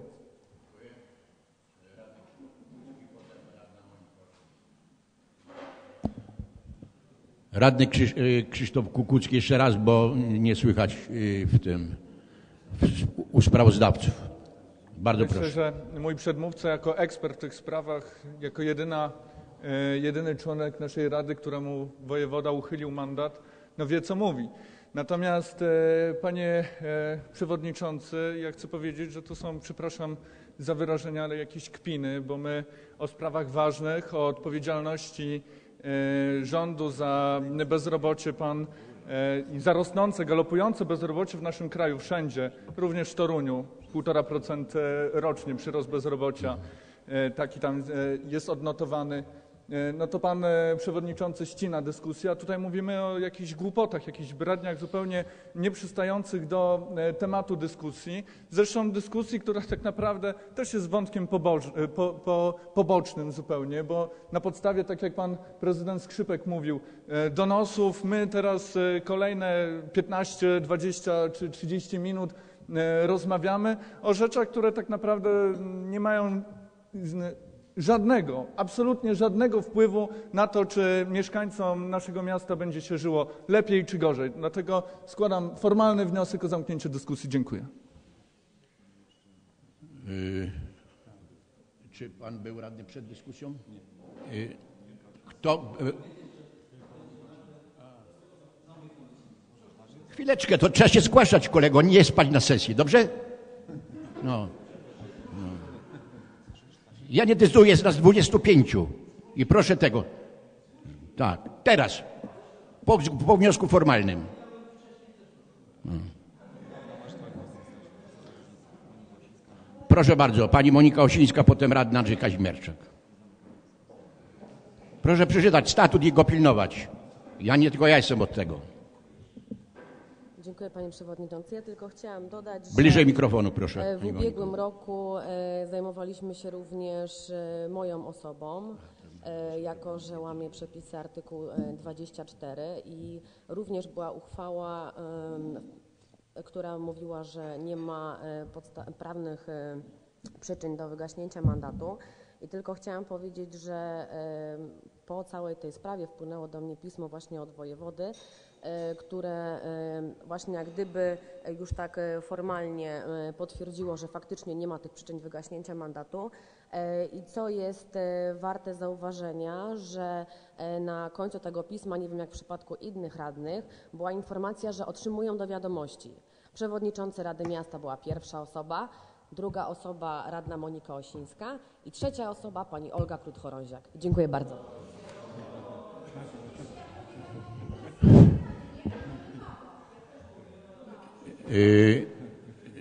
Zanim udzielę głosu panu radnemu, y, proszę o przegłosowanie wniosek formalny o zamknięcie dyskusji. Kto jest za, proszę o podniesienie ręki do góry. Nie ma obowiązku, wcale nie namawiam. Kto jest przeciw? Dziękuję bardzo. Dziękuję. Kto się wstrzymał od głosu? Wysoka Rada zdecydowała 14 głosami za,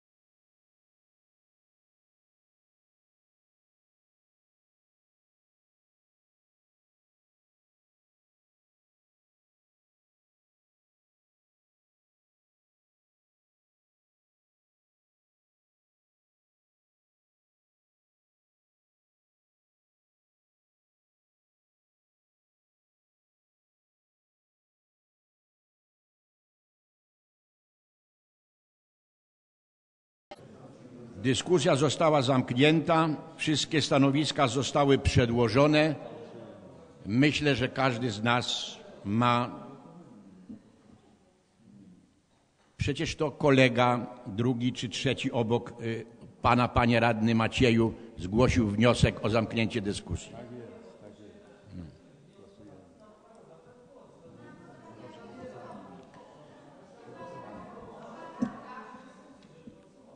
Kto z pań i panów radnych jest za przyjęciem projektu uchwały w sprawie zajęcia stanowiska w przedmiocie niewystąpienia przyczyny wygaśnięcia mandatu radnego? Kto jest za? Proszę o podniesienie ręki do góry. Dziękuję bardzo. Kto jest przeciw? Dziękuję. Kto się wstrzymał od głosu?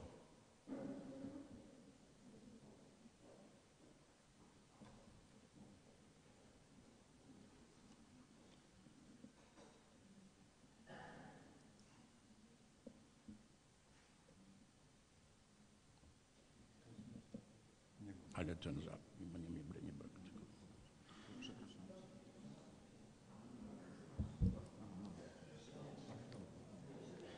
Wysoka Rado, stwierdzam, że tak tutaj wynika z, z przedstawionych dokumentów przez sekretarzy, że za uchwałą głosowało 14 radnych, przeciw 8, brak głosów wstrzymujących się. Uchwała została podjęta.